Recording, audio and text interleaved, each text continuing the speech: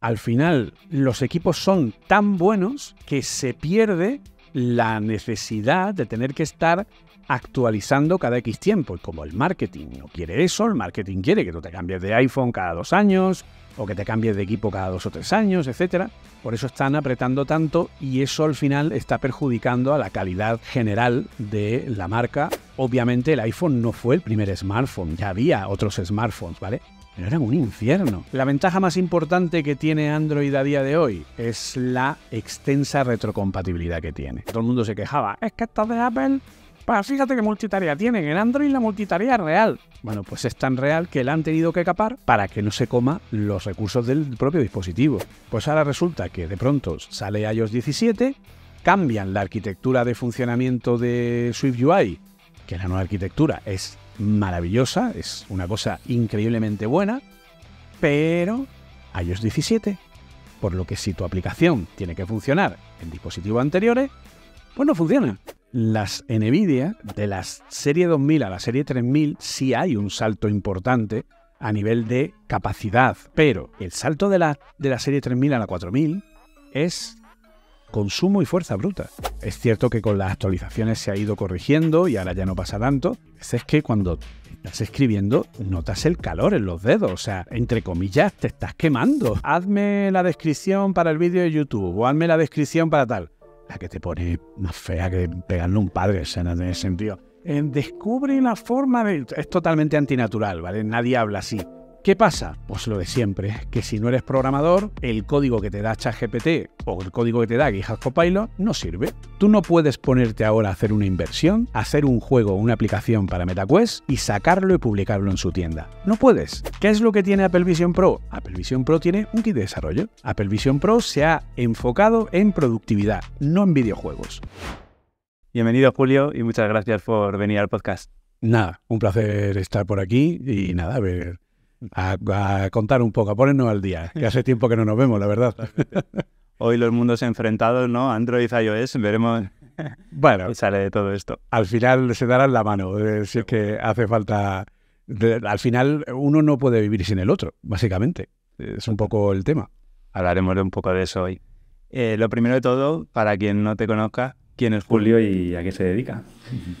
Bueno, pues eh, Julio es una persona que lo último que esperaba en su vida es llegar a donde está ahora, o sea que es, lo que tiene. Pero bueno, eh, básicamente yo me, suelo definir, y luego la gente también me define como un evangelista ¿no? de, desarrollo en entornos Apple, ¿no? que al final el evangelista es un concepto ¿no? que la propia Apple eh, acuñó en los años 80, pues porque, claro, al salir el Macintosh, era algo tan nuevo que ellos tenían ciertos especialistas que, digamos, descubrían ¿no? a la gente lo que era el Macintosh, lo que era una interfaz gráfica de usuario, cómo funcionaba, etcétera. Mm. Y entonces pues se quedaron ¿no? con ese término de evangelización. Y bueno, pues eh, fue el término que, que vi que era más apropiado ¿no? para lo que yo hacía a nivel de descubrimiento de todo lo que era el desarrollo y fue lo que, lo que cogí. O sea, yo empecé, la verdad que no vengo, o sea, llegué al mundo Apple entre comillas como usuario, ¿vale? Porque yo he sido durante muchos años administrador de base de datos de, Oracle, he trabajado en aplicaciones corporativas, estuve durante muchos años trabajando en el Ministerio de Fomento aquí en España, eh, llevando todo lo que eran las aplicaciones de la Dirección General de Aviación Civil, la que es ahora la agencia estatal eh, de, aviación y tal. En fin, pues eh, estuve ahí llevando pues todo el tema de las licencias de los pilotos, de tal, pues todo lo que eran las eh, la emisión de esas licencias, gestión de los sistemas y tal, todo con, con Oracle. Pero la empresa donde, donde estaba, que era una cárnica de estas típicas que hacen contratos extraños ¿no? con la administración, pues digamos que empezó a, no funcionar muy bien con la llegada de la primera crisis esta que hubo, eh, que afectó bastante a partir de 2008, que empezó la cosa a ir un poco mal. Y al final, pues la empresa terminó por, por cerrar, ¿no? Al poco, poco antes de que la cosa fuera mucho peor, ¿no? Nos, eh, nos despidieron a mi mujer y a mí, que estábamos los dos en ese tal. Y además en esa época, fue cuando nosotros ya empezamos a tener mucho más contacto con Apple. ¿no? Yo eh, descubrí Apple con los iPods, luego ya empecé a buscar Apple para eh, como herramienta de trabajo porque el PC no me daba la solución que yo buscaba. Yo en aquella época hacía temas de edición de vídeo, hacía cosas que eran pues un poco más exigentes, ¿no? Y el PC no me daba la solución, incluso composición musical, etcétera. Entonces, como no me daba la solución, pues dije, bueno, pues voy a mirar el mercado. Como ya tenía eh, los iPods, pues dije, oye, pues esto a lo mejor puede ser una buena opción. Y fue cuando eh, descubrí el mundo Apple. Descubrí el iPhone, descubrí el iPod Touch, que fue el primero que tuve de esas características, los Mac al poco tiempo, etcétera. Y ya pues me hice un usuario de, de nivel, ¿no? Y justo, pues cuando todavía estaba en la empresa donde estaba, pues surgió la oportunidad de empezar a escribir en hipertextual, en la web de lo que en aquel momento era Apple Weblog, porque hipertextual tenía un montón de marcas, eh, como sucede con, con Webedia Weblogs, eh, que lo que hace es que tiene, que tiene un montón de marcas, tienen Satak, Apple Esfera, tal, pues eh, antes Eduardo Arcos tenía montado eso de esa manera, con varias marcas, ahora ya lo tiene todo condensado en, en hipertextual. Y entonces en aquella época pues estuve escribiendo durante año y medio en Apple Weblog, escribiendo cinco artículos al... cinco, no, diez artículos a la semana de tema de Apple. O sea, que... A nivel de usuario, entiendo, ¿no? Claro, sí, sí, en plan de, pues Apple ha presentado esto, no, no sé cuánto. Pasa que en aquella época ya a la gente le gustaba cómo explicaba las cosas, ¿vale? Y siempre había buenos comentarios de hoy, pues, eh, qué bien explicas esto, o qué bien no sé qué, o qué bien no sé cuál. Entonces, a partir de ahí tuve una, buena relación con Paco Lara, con el antiguo eh, PR de Apple, el cual pues tuvo la, gran gentileza de, escogerme ¿no? para hacer las reviews de ciertos equipos que salieron en esa época. Entonces pude hacer review del primer MacBook, eh, que era eh, todo el, Unibody, ¿no? primero que salió completo, del primer MacBook Air, no del que Jobs sacó del sobre, sino del siguiente que ya se estableció como diseño durante un montón de años hasta la llegada del M1 y tal. Entonces, pues todo eso, la llegada del anterior modelo al M1, ¿no? que fue ya en 2020. Pero vamos, eh, ahí tuve una ocasión pues, de poder probar equipos, de poder hacer reseñas a más nivel, etc. Y, y claro, fue el momento cuando llegó el iPad, ¿vale? Cuando mi hijo, que apenas tenía, no había cumplido todavía dos años, vimos cómo manejaba el dispositivo, ¿no? Y dijimos, pero esto no tiene mucho sentido, o sea, ¿cómo, cómo es capaz un niño de manejar esto simplemente por imitación, ¿no? Entonces ahí tuvimos mi mujer y yo la revelación de decir, oye, es que esto, hacer software para esto va a ser el futuro, ¿no? Lo propusimos en la empresa, porque todavía la empresa estaba eh, funcionando, y en la empresa nos dijeron mm, que hoy no, mañana, ¿vale? O sea, pasaron del tema, así se hundieron, o sea, lo que hay. Y, nada, porque al final esa empresa, su principal negocio era venta de hierro, ¿no? Eran partners de HP y vendían servidores de HP, armarios, racks, en fin, un montón de cosas. Y entonces, bueno, pues, y luego tenían una pequeñita parte que era la parte de servicio, ¿no? Entonces, bueno, pues eh, como no quisieron hacer el tema, pues nos montamos nosotros por nuestra cuenta y empezamos a hacer eh, juegos, software para, para niños. ¿no? Y la verdad, pues que eh, fue bastante interesante. El primer juego que hicimos tuvimos la suerte de que nos hicieron un artículo en el mundo. Y entonces, bueno, pues ahí tuvimos un poquito de, repercusión.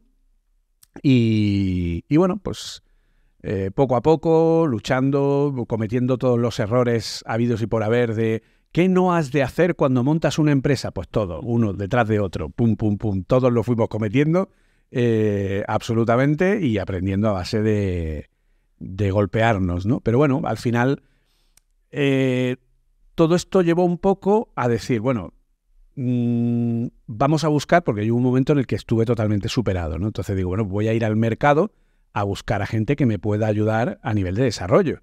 Y no había. No había. Y entonces era como, bueno, como, claro, sí, sí, o sea, gente que empezaba, ¿no? Gente de, sí, sí, yo pues sé algo de Objective-C y tal, porque en aquel momento todavía no existía Swift. Eh, y he hecho más o menos esto, lo otro, pero claro, no había gente realmente especializada del nivel que nosotros eh, necesitábamos, ¿vale? Porque además hacíamos videojuegos y era un nivel de exigencia de conocimiento técnico muy alto. Había que saber, porque nosotros llegamos a montar un motor de videojuego basado en base de datos, donde tú dabas en distintos registros los eh, distintos elementos de una pantalla y sus interacciones, y con esos registros el motor montaba solo las pantallas, ¿vale? Entonces, claro, mantener todo eso era, pues en fin, requería un nivel, claro, muy alto de desarrollo.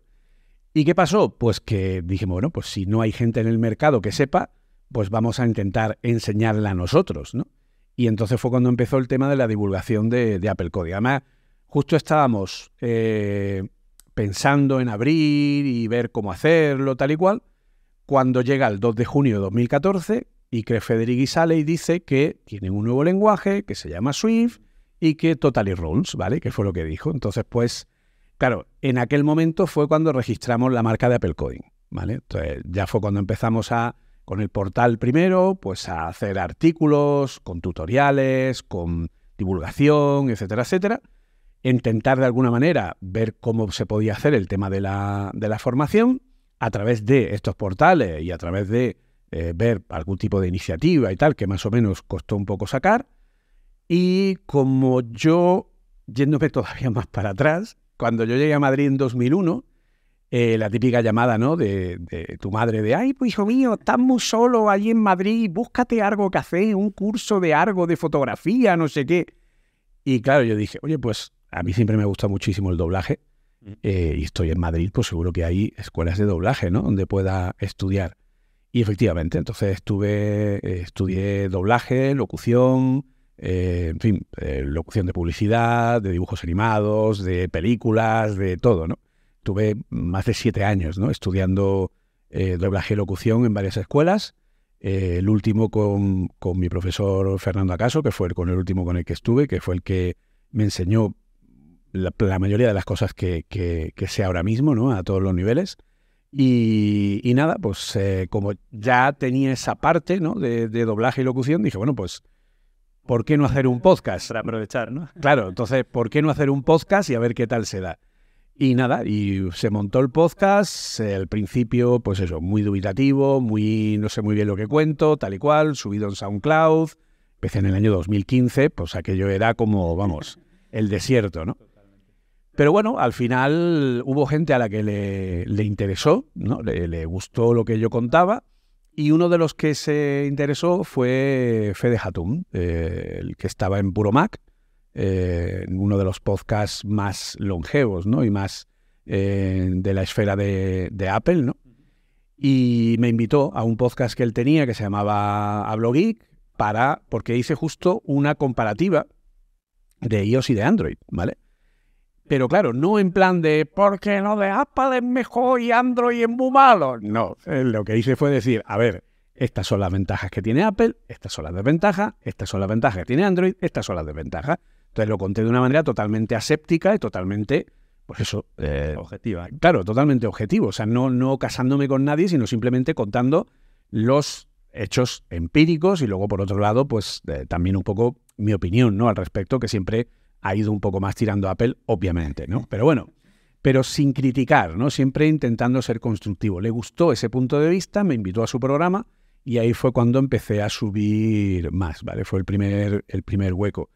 A raíz de ahí entré en, en Apelianos como, como colaborador, que estuve ahí bastante tiempo y la verdad que me ayudó muchísimo en lo que es toda la eh, visibilización del podcast, la gente pues eh, hubo bastante más audiencia y tal, hasta que Ángel Jiménez, el, redactor del Mundo de Tecnología, pues eh, me invitó a formar parte de, de Cuonda, que eso fue hace ya pues eh, cuántos añitos ya apañados, ¿vale? Entonces, bueno, pues a raíz de ahí entré en Cuonda y ya pues poco a poco. Ahora, en estos momentos tengo diría cuatro, no son cuatro porque uno de ellos está en, en stand-by, el podcast con, mi amigo Oliver Navani, mm. que se ha quedado un poquito en stand-by porque él tiene otras cosas ahora mismo y, lo hemos dejado un poco en suspenso. No lo hemos eliminado, pero sí está en suspenso hasta que podamos retomarlo en algún momento.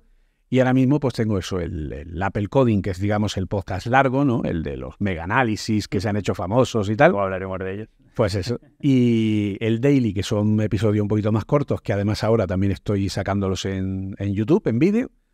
Y el Café Swift, que es el podcast destinado a hardcore ¿no? de, de Swift con mi amigo y compañero Arturo Rivas. Así que bueno, ahí estamos. Una vez que me parece increíble la cantidad de, de podcasts que creas, que a mí me parece súper complicado y, y te... Sí, pero al final... Por ello. Pues sí, la verdad es que, bueno, al final es un poco acostumbrarse, ¿no? A lo que es el... Sí, exactamente, es coger el ritmo y, y al final, pues bueno, eh, consigues que la cosa funcione, que a la gente le guste, que lo vaya oyendo, excepto que obviamente pues las audiencias son muy dispares, ¿no? El de Café Swift pues es el más pequeñito, obviamente, pero oye, que puedas tener una audiencia consolidada de dos, dos mil y pico oyentes por episodio y tal, de un tema tan nicho, tan nicho, que son... Es más, más eh, entras más en tema de programación. Claro, es totalmente hardcore. O sea, es como tú imagínate que tú estás en una empresa y estás Claro, y tienes tu compañero al lado que lleváis todo el día trabajando en Kotlin y te pone, ay, pues fíjate lo que han sacado ahora, esto de tal, fíjate, ahora han cambiado esto, ahora hay que hacer lo otro. Ah, pues mira, yo este truco lo hago de tal manera. O sea, es totalmente hardcore. Eh, de desarrollo, pues eso, de, de dos colegas que trabajan en programación y se ponen a comentar las noticias e incluso pues te dan trucos, etcétera. Entonces, claro, una audiencia de dos mil y pico asentada eh, por episodio es como para decir, hostia, eh, esto está, está muy bien para un tema que es eh, sumamente nicho, ¿no? Pero la verdad que Cuonda siempre me ha apoyado y cualquier idea que les he comentado siempre la han, lo han sacado adelante y la verdad que muy, muy contento. Así que ese es el resumen. me, pa me, parece muy curioso el paralelismo que tenemos en, entre Apple Coding y DevExpert, porque DevExpert también surgió un poco del, de la aparición de Kotlin. Eh, uh -huh. En este caso, pues yo empecé un año después, en 2015 empecé a tocar Kotlin, cuando todavía pues era un lenguaje que ni estaba en, vamos, estaban las versiones previas, las EAP que las llamaban, y, y, empecé ahí a aprender sobre el lenguaje y eso un poco fue el, el germen, ¿no? De lo, que, de lo que luego creció y por lo que veo en tu camino, Swift también hizo un poco el, sí. el camino paralelo, ¿no? Sí, sí, exactamente.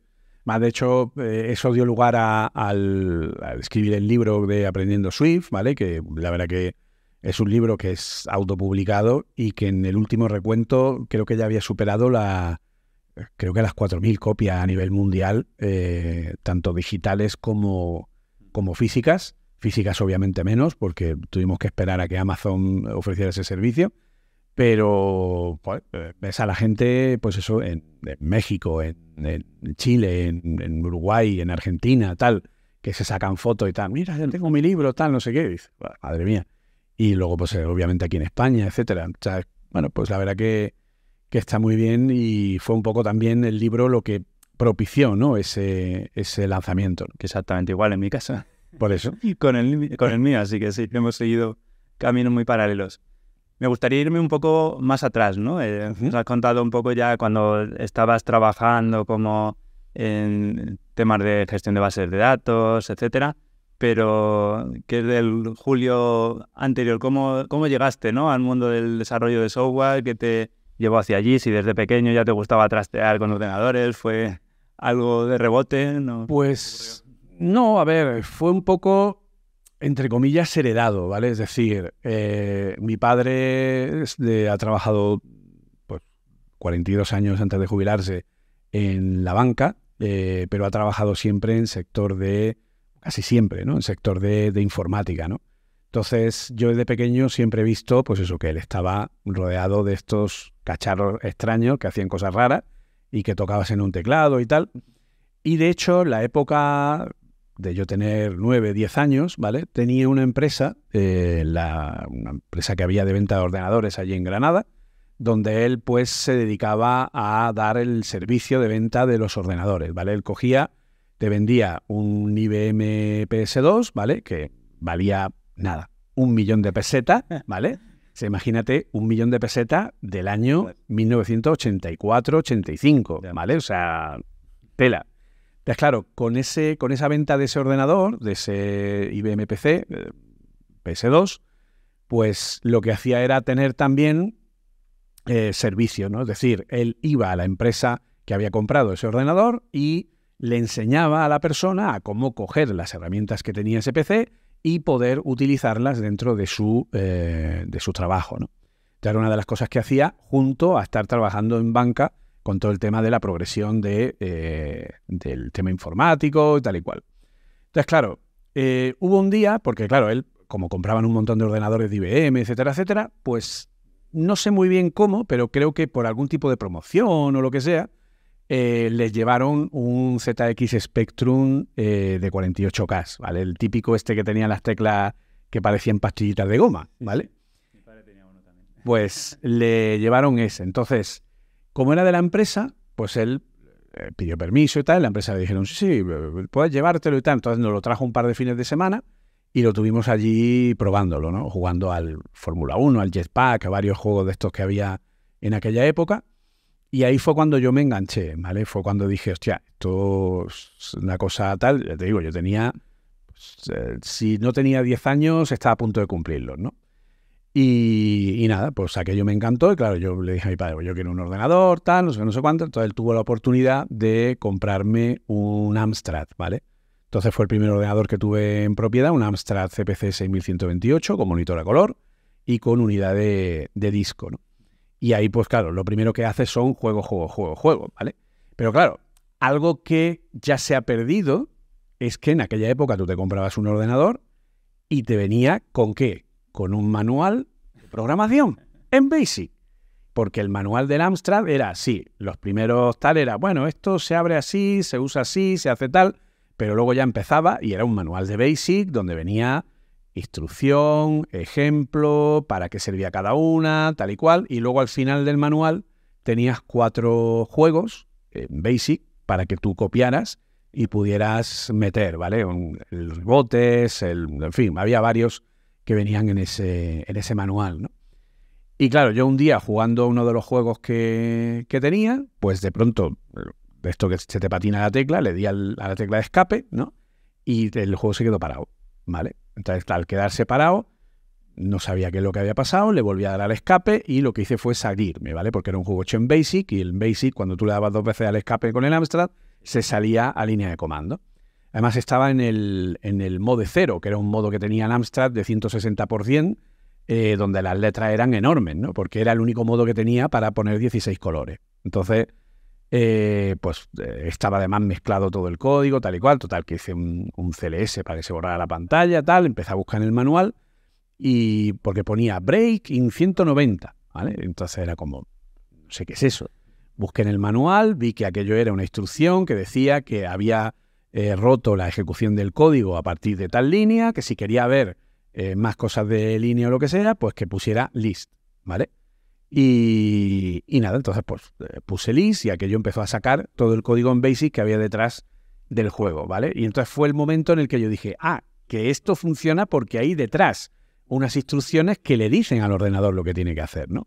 Y entonces, claro, ahí ya fue el momento en el que empecé a hacer, empecé a hacer mi, a aprender, ¿no? Por mí mismo eh, programación con, con, Basic y fue pues eso, con, con 10 años. O sea, yo estaba mientras mis colegas en el colegio jugaban a la pelota y hacían el cabra, pues yo estaba con papel milimetrado apuntando eh, unos gráficos en 8x8, lo que hacía era crearme cuadrículas de 8x8, pintar los gráficos que quería para el juego que estaba haciendo y luego pasar, porque en el Amstrad había una instrucción que era el, el symbol en el que tú podías redefinir los caracteres. Entonces, si tú tenías el ASCII de la mayúscula que era el 65, pues tú ponías symbol after 65 y eso definía el buffer de memoria para que pudieras cambiar la representación eh, gráfica de esa letra. Entonces luego ponía symbol 65, y le dabas los ocho números en decimal de la correspondencia en binario de los puntos encendidos dentro de la cuadrícula del 8x8.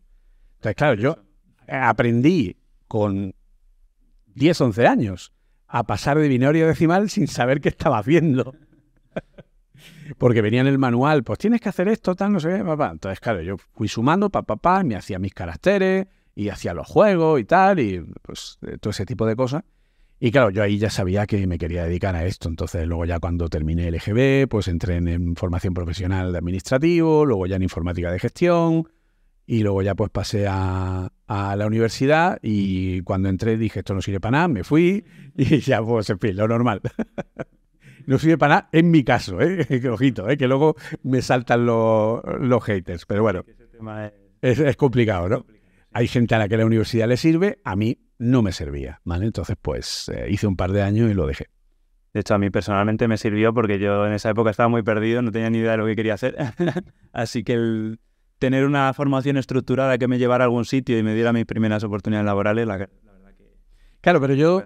Claro, eh, en tu caso, pues sí, lógicamente. Yo en mi caso es que yo ya venía de sobrado. Claro, claro entonces llegar allí y decir, todo lo que estoy dando de informática no me sirve porque yo ya lo sé. Mm. Eh, y aparte, eh, todo lo que estoy dando de electrónica, de física, de tal, era como, ¿y a Pekín para qué? O sea, no sé, no, no tenía... Y además todo muy anticuado, muy, no sé, no... Y aparte coincidió que yo ya estaba trabajando con Oracle en aquel momento eh, como becario y, y, el momento de decidir, que lo he contado alguna vez, el momento de decidir dejar la carrera fue cuando eh, yo ya llevaba dos años trabajando como becario con Oracle, eh, trabajaba con, una herramienta de Oracle que se llama Forms Developer, Developer, 2000 en aquella época, que era una herramienta que se llamaba Forms y Reports, que permitía hacer con PLSQL aplicaciones que conectaban directamente con la, con la base de datos. Y, y, claro, yo ya llevaba dos años haciendo aplicaciones profesionales para empresas. Tal. Entonces yo llego a la universidad, introducción a base de datos, encima el examen hecho en ordenador directamente con SQL Plus. Pues claro, que yo era para mí decir, ah, dame 20 más como este, esto lo tengo más que superado. Hago el examen, está todo correctamente, lo entrego y me suspende, a pesar de que estaba todo correcto. Explicación de la profesora, es que no has usado lo que hemos dado en clase. Digo, bien, pues entonces ya he entendido lo que es la universidad, así que hasta luego, Lucas. Y entonces en ese momento fue cuando busqué trabajo en Madrid, me vine, y empecé mi época cárnica maravillosa eh, trabajando en Indra y en esos sitios tan bonitos que hay en el mundo. Ahí hemos pasado muchos, sí. Pues eso, de que eso te curte como hombre y como persona humana de la vida. Qué bueno. Pues volvemos hacia adelante eh, y nos comentabas que, entraste en Apple más por el, por el mundo de usuario más que de desarrollador y al final pues te acabó llevando ¿no? todo a ese camino. ¿Qué, visiones tienes, por ejemplo, a día de hoy entre tu faceta como usuario de Apple y tu faceta como, como eh, divulgador y como dedicado a la enseñanza?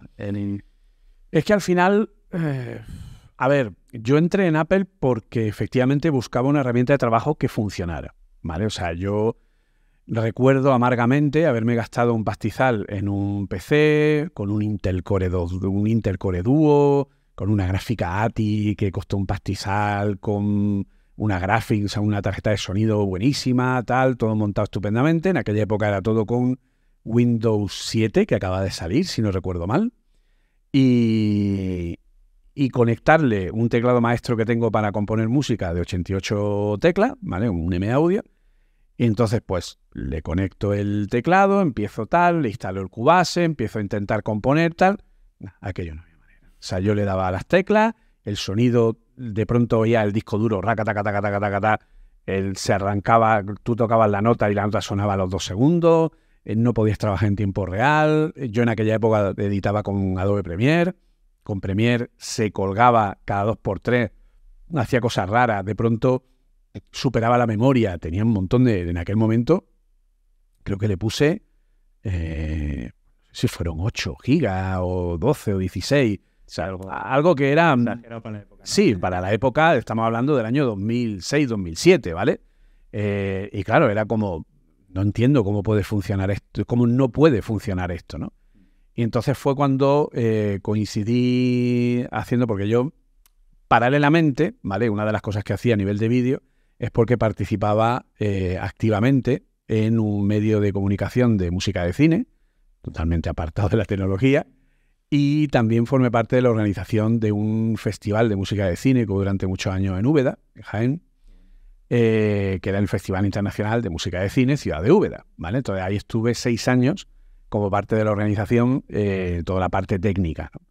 Entonces, aparte de la parte técnica, también me encargaba de parte de la edición de vídeo para las entregas de premios y para cosas así que hacíamos eh, de eventos, etcétera, etcétera.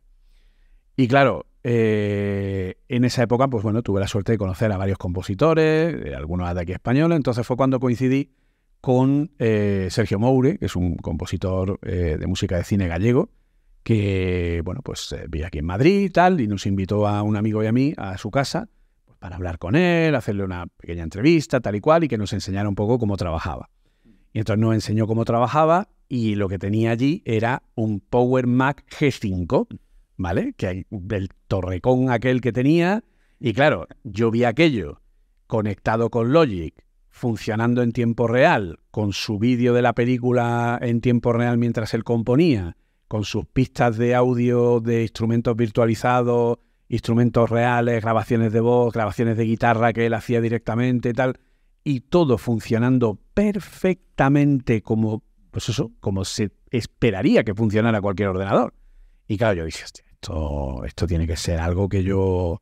Y fue cuando pues, le di la oportunidad al, al Mac. Compré mi primer Mac, que fue un iMac, y, y ya fue cuando empecé a trabajar con eso. Entonces, claro, como para mí el Mac es una herramienta de trabajo y ahora mi trabajo es el tema de la divulgación, etcétera, etcétera, pues claro, yo lo que quiero es que me funcione bien para todo lo que hago, me funcione bien para grabar los podcasts, para hacer los vídeos, para hacer las formaciones, para el desarrollo, tal y cuanto. Es claro, no tiene, o sea, yo estoy, he podido llegar a estar 9, 10, 11 horas durante un día dando clase.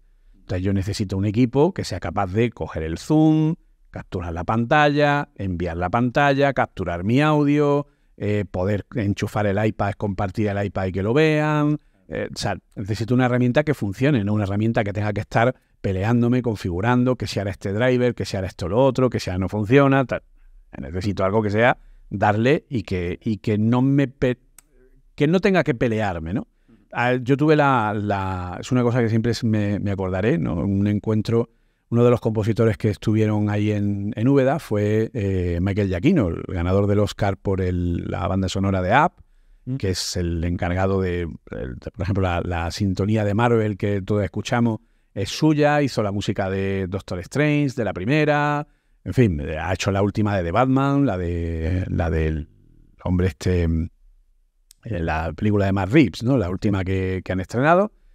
Y, bueno, pues es un compositor de, alto nivel. En aquel momento, pues estaba trabajando, pues eso, abriéndose un poco el mercado. Y cuando yo lo vi que venía con su MacBook montado, con su aplicación de, de, fin, de música, etcétera, etcétera, ¿vale? Que era de una aplicación de partituras y tal.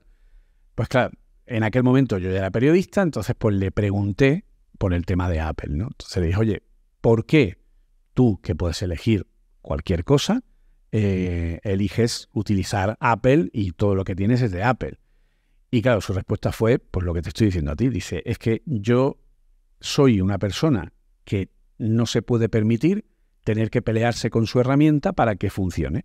Lo que necesito es una herramienta que encienda y que sé y tenga la garantía de que va a hacer lo que yo necesito en el momento que lo necesito y cómo lo necesito. Y por lo tanto, tiene que ser eficiente y eso es algo que, eh, lo que él dijo, en, hasta ahora nada me lo aporta que no sea Apple. ¿Vale? Entonces, pues yo sé que eso tiene un coste, sé que tiene un tal, pero bueno, pues es lo que yo he decidido. Y de hecho, la gran mayoría de la industria de Hollywood eh, trabaja con Apple precisamente por eso, porque quieren una herramienta que funcione, una herramienta que no dé problemas, que no haya que configurar, que no haya que hacer que, de pronto deje de, de, responder o que te dé errores raros simplemente pues eso, que, funcione, ¿no? El famoso It Just Works, ¿no? Que decían de, Apple, que ahora ya en algunas ocasiones ya no están It Just Works, pero bueno, en fin, eh, It Just Works depende, bueno, en fin, poco a poco vamos trabajando en ello. Sobre todo si no eres programador, ¿no? Básicamente. ¿Cuál es la experiencia, ¿no? Desde el otro lado, como, como programador, las herramientas que, te, que utilizáis en el día a día. Claro, ahí al final, eh, bueno, la verdad que en el último tiempo he ampliado un poco, ¿vale? Porque yo obviamente soy hombre de Scode, ¿vale? Eh, para todo.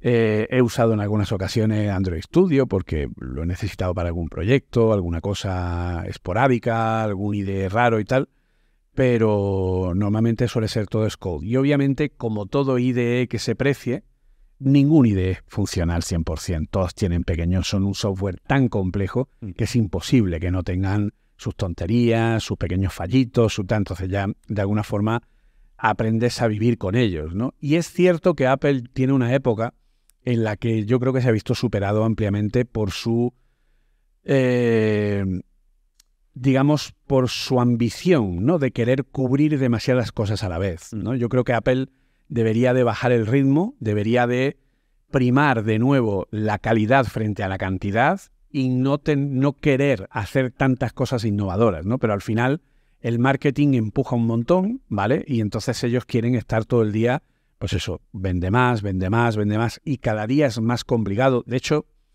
a ellos mismos les pasa, es decir, que, que vamos a ver, por ejemplo, yo tengo aquí un iPhone 14, ¿vale? El, 14 Pro. ¿Qué tiene que pasar en un iPhone para que yo diga, mm, pues este iPhone ya no me sirve, me compro el nuevo de turno? Hostia, pues ya tiene que pasar bastante, ¿no? Porque con esto, con un 14 Pro, ¿qué no voy a poder hacer en los próximos 4, 5, 6, 7, 8 años? Te diría. Porque, ¿qué más? O sea, los dispositivos móviles han tocado techo. Entonces, por mucho que ahora le estén metiendo IA o cosas por el estilo, pero todo eso también lo pueden hacer dispositivos más antiguos, ¿no? Entonces, yo, por ejemplo, tenía un 12 Pro y me compré el 14 Pro y claro dirán, no, pues sí, te has actualizado solo con dos años. No, me he actualizado por esto, por la isla dinámica. Porque la isla dinámica requiere tener un dispositivo físico para poder probar los desarrollos y las formaciones. Claro. Entonces yo me vi obligado. Caso como formador no claro, Pero por eso mismo, o sea, pero si no hubiera sido por eso, si hubiera sido como usuario, yo seguiría con el 12 Pro. Mis hijos tienen un 11, mi mujer tiene el 12 Pro que yo tenía, tal, funcionando perfectamente. Y ahora con Apple Silicon pasa igual. O sea, eh, los equipos de Intel con Apple han sufrido un montón, se ha notado el tema de Intel, los calentamientos, lo de los portátiles que van a despegar, etcétera. O sea, un suplicio que hemos vivido todos. Pero desde que Apple lanzó en 2020 los Apple Silicon, los M1, ¿qué excusa hay para...? O sea, yo, yo ahora mismo mi ordenador del día a día es un Mac Studio M1 Max. Yo no necesito Claro, o sea, yo no necesito... ¿Qué me aporta un M2 Max? Sí, obviamente, más rápido, pero... Pero cuánto más, ¿no?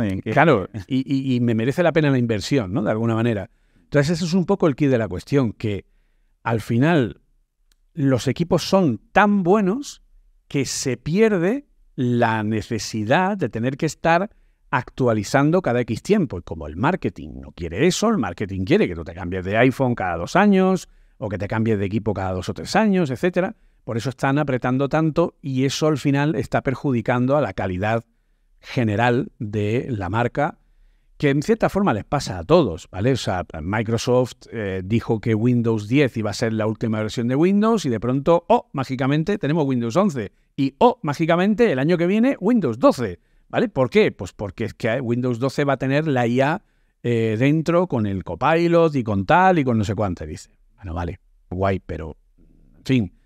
Pero es esa necesidad de tener que estar renovando de manera continua para crearle, a su vez, la necesidad a los usuarios de tener que estar soltando panoja todo el día, pim pam, pim pam.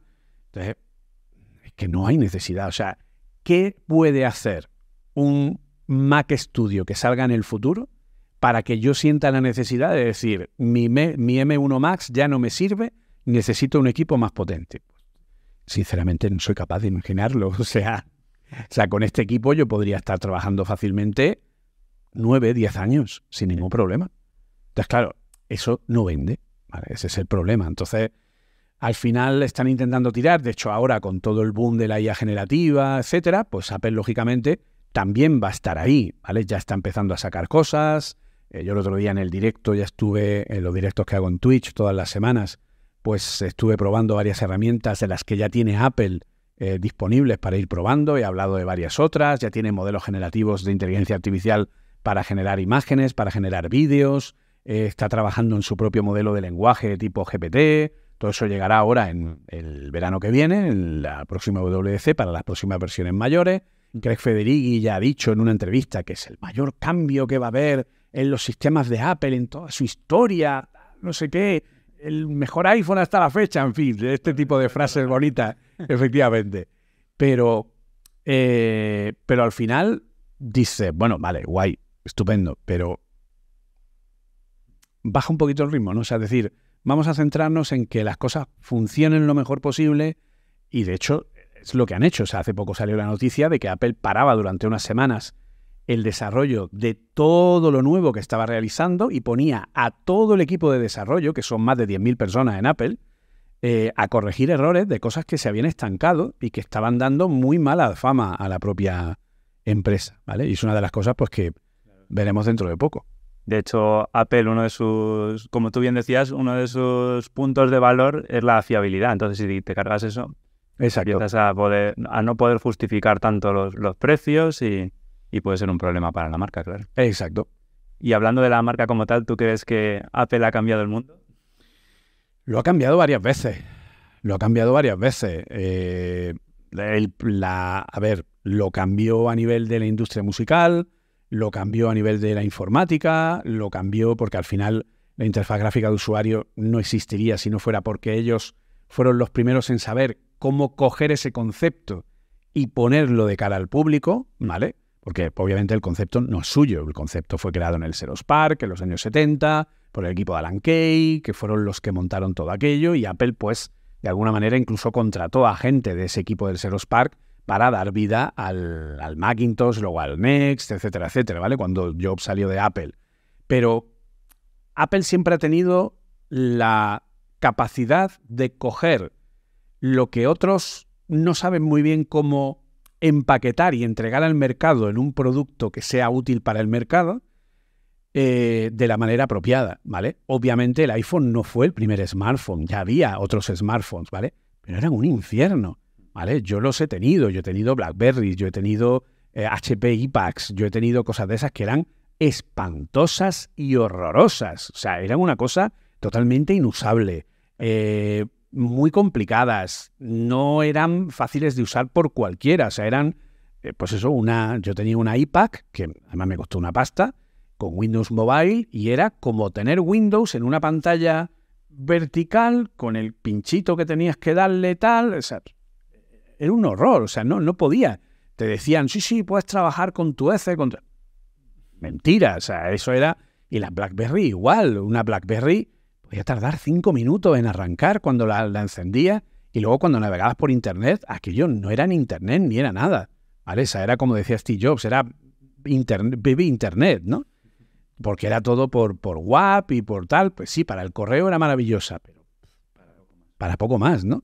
Entonces, claro, Bueno, los mensajitos, que estaba todo el mundo con los mensajes. eh, exacto, con el BlackBerry Messenger.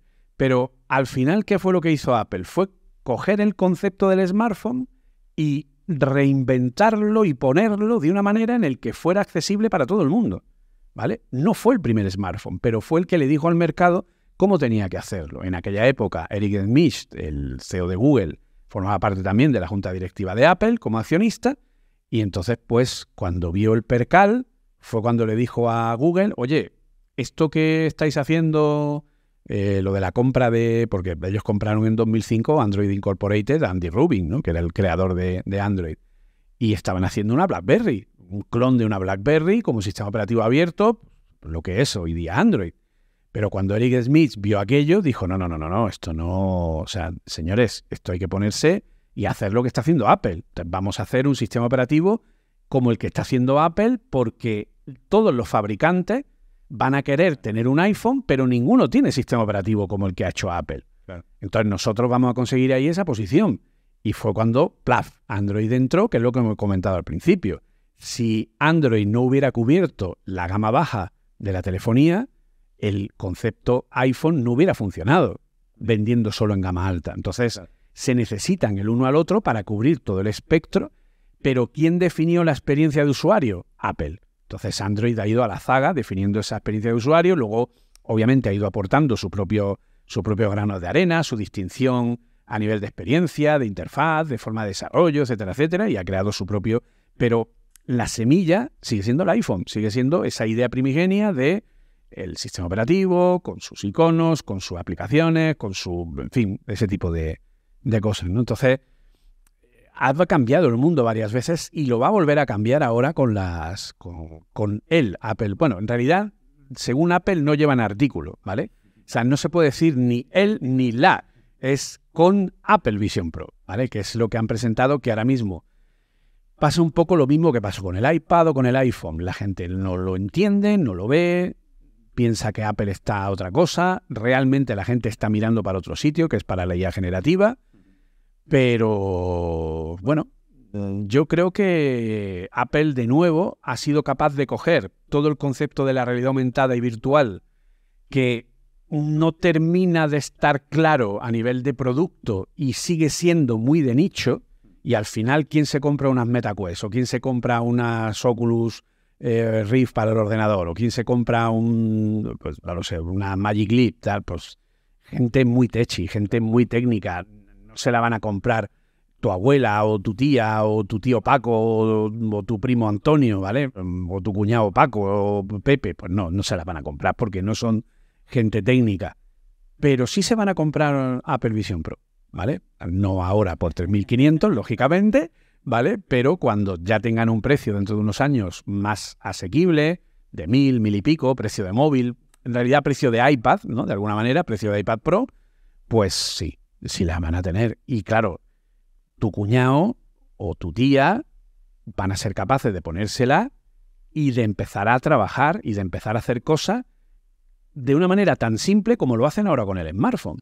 Porque es eso, o sea, tú, nuestras madres, nuestros padres, nuestros hijos, tal, todos tienen, ahora mismo todo el mundo tiene un smartphone. ¿Por qué? Porque es tan sencillo de manejar, está tan al nivel de lo que necesita la gente, a nivel de consumo, que es no, no hay una barrera de entrada. ¿Vale? Es prácticamente inexistente. Y eso es lo que Apple va a aportar con Apple Vision Pro. ¿Vale? Luego entraremos un poco más a fondo en ese tema. Pero sí que es verdad que yo lo que, lo que vi, y sobre todo a raíz de leerme la biografía de Steve Jobs, que la tienes justo.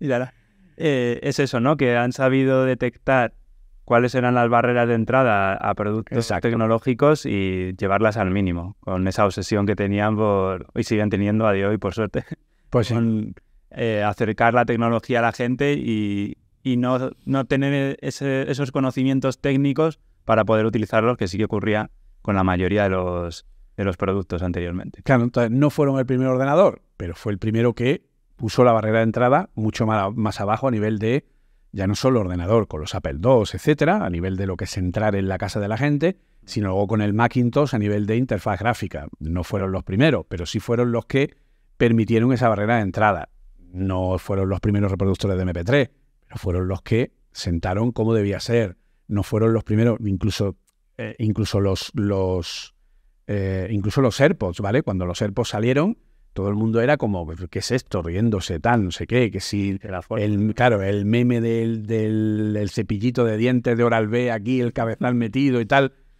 Busca ahora unos que no sean así. O sea, la mayoría son así. Claro, se han establecido, ¿por qué? Porque al final eh, auriculares Bluetooth había un millón, pero que funcionaran como esto, pues no que tuvieran esa, insisto, esa barrera de entrada, ¿no?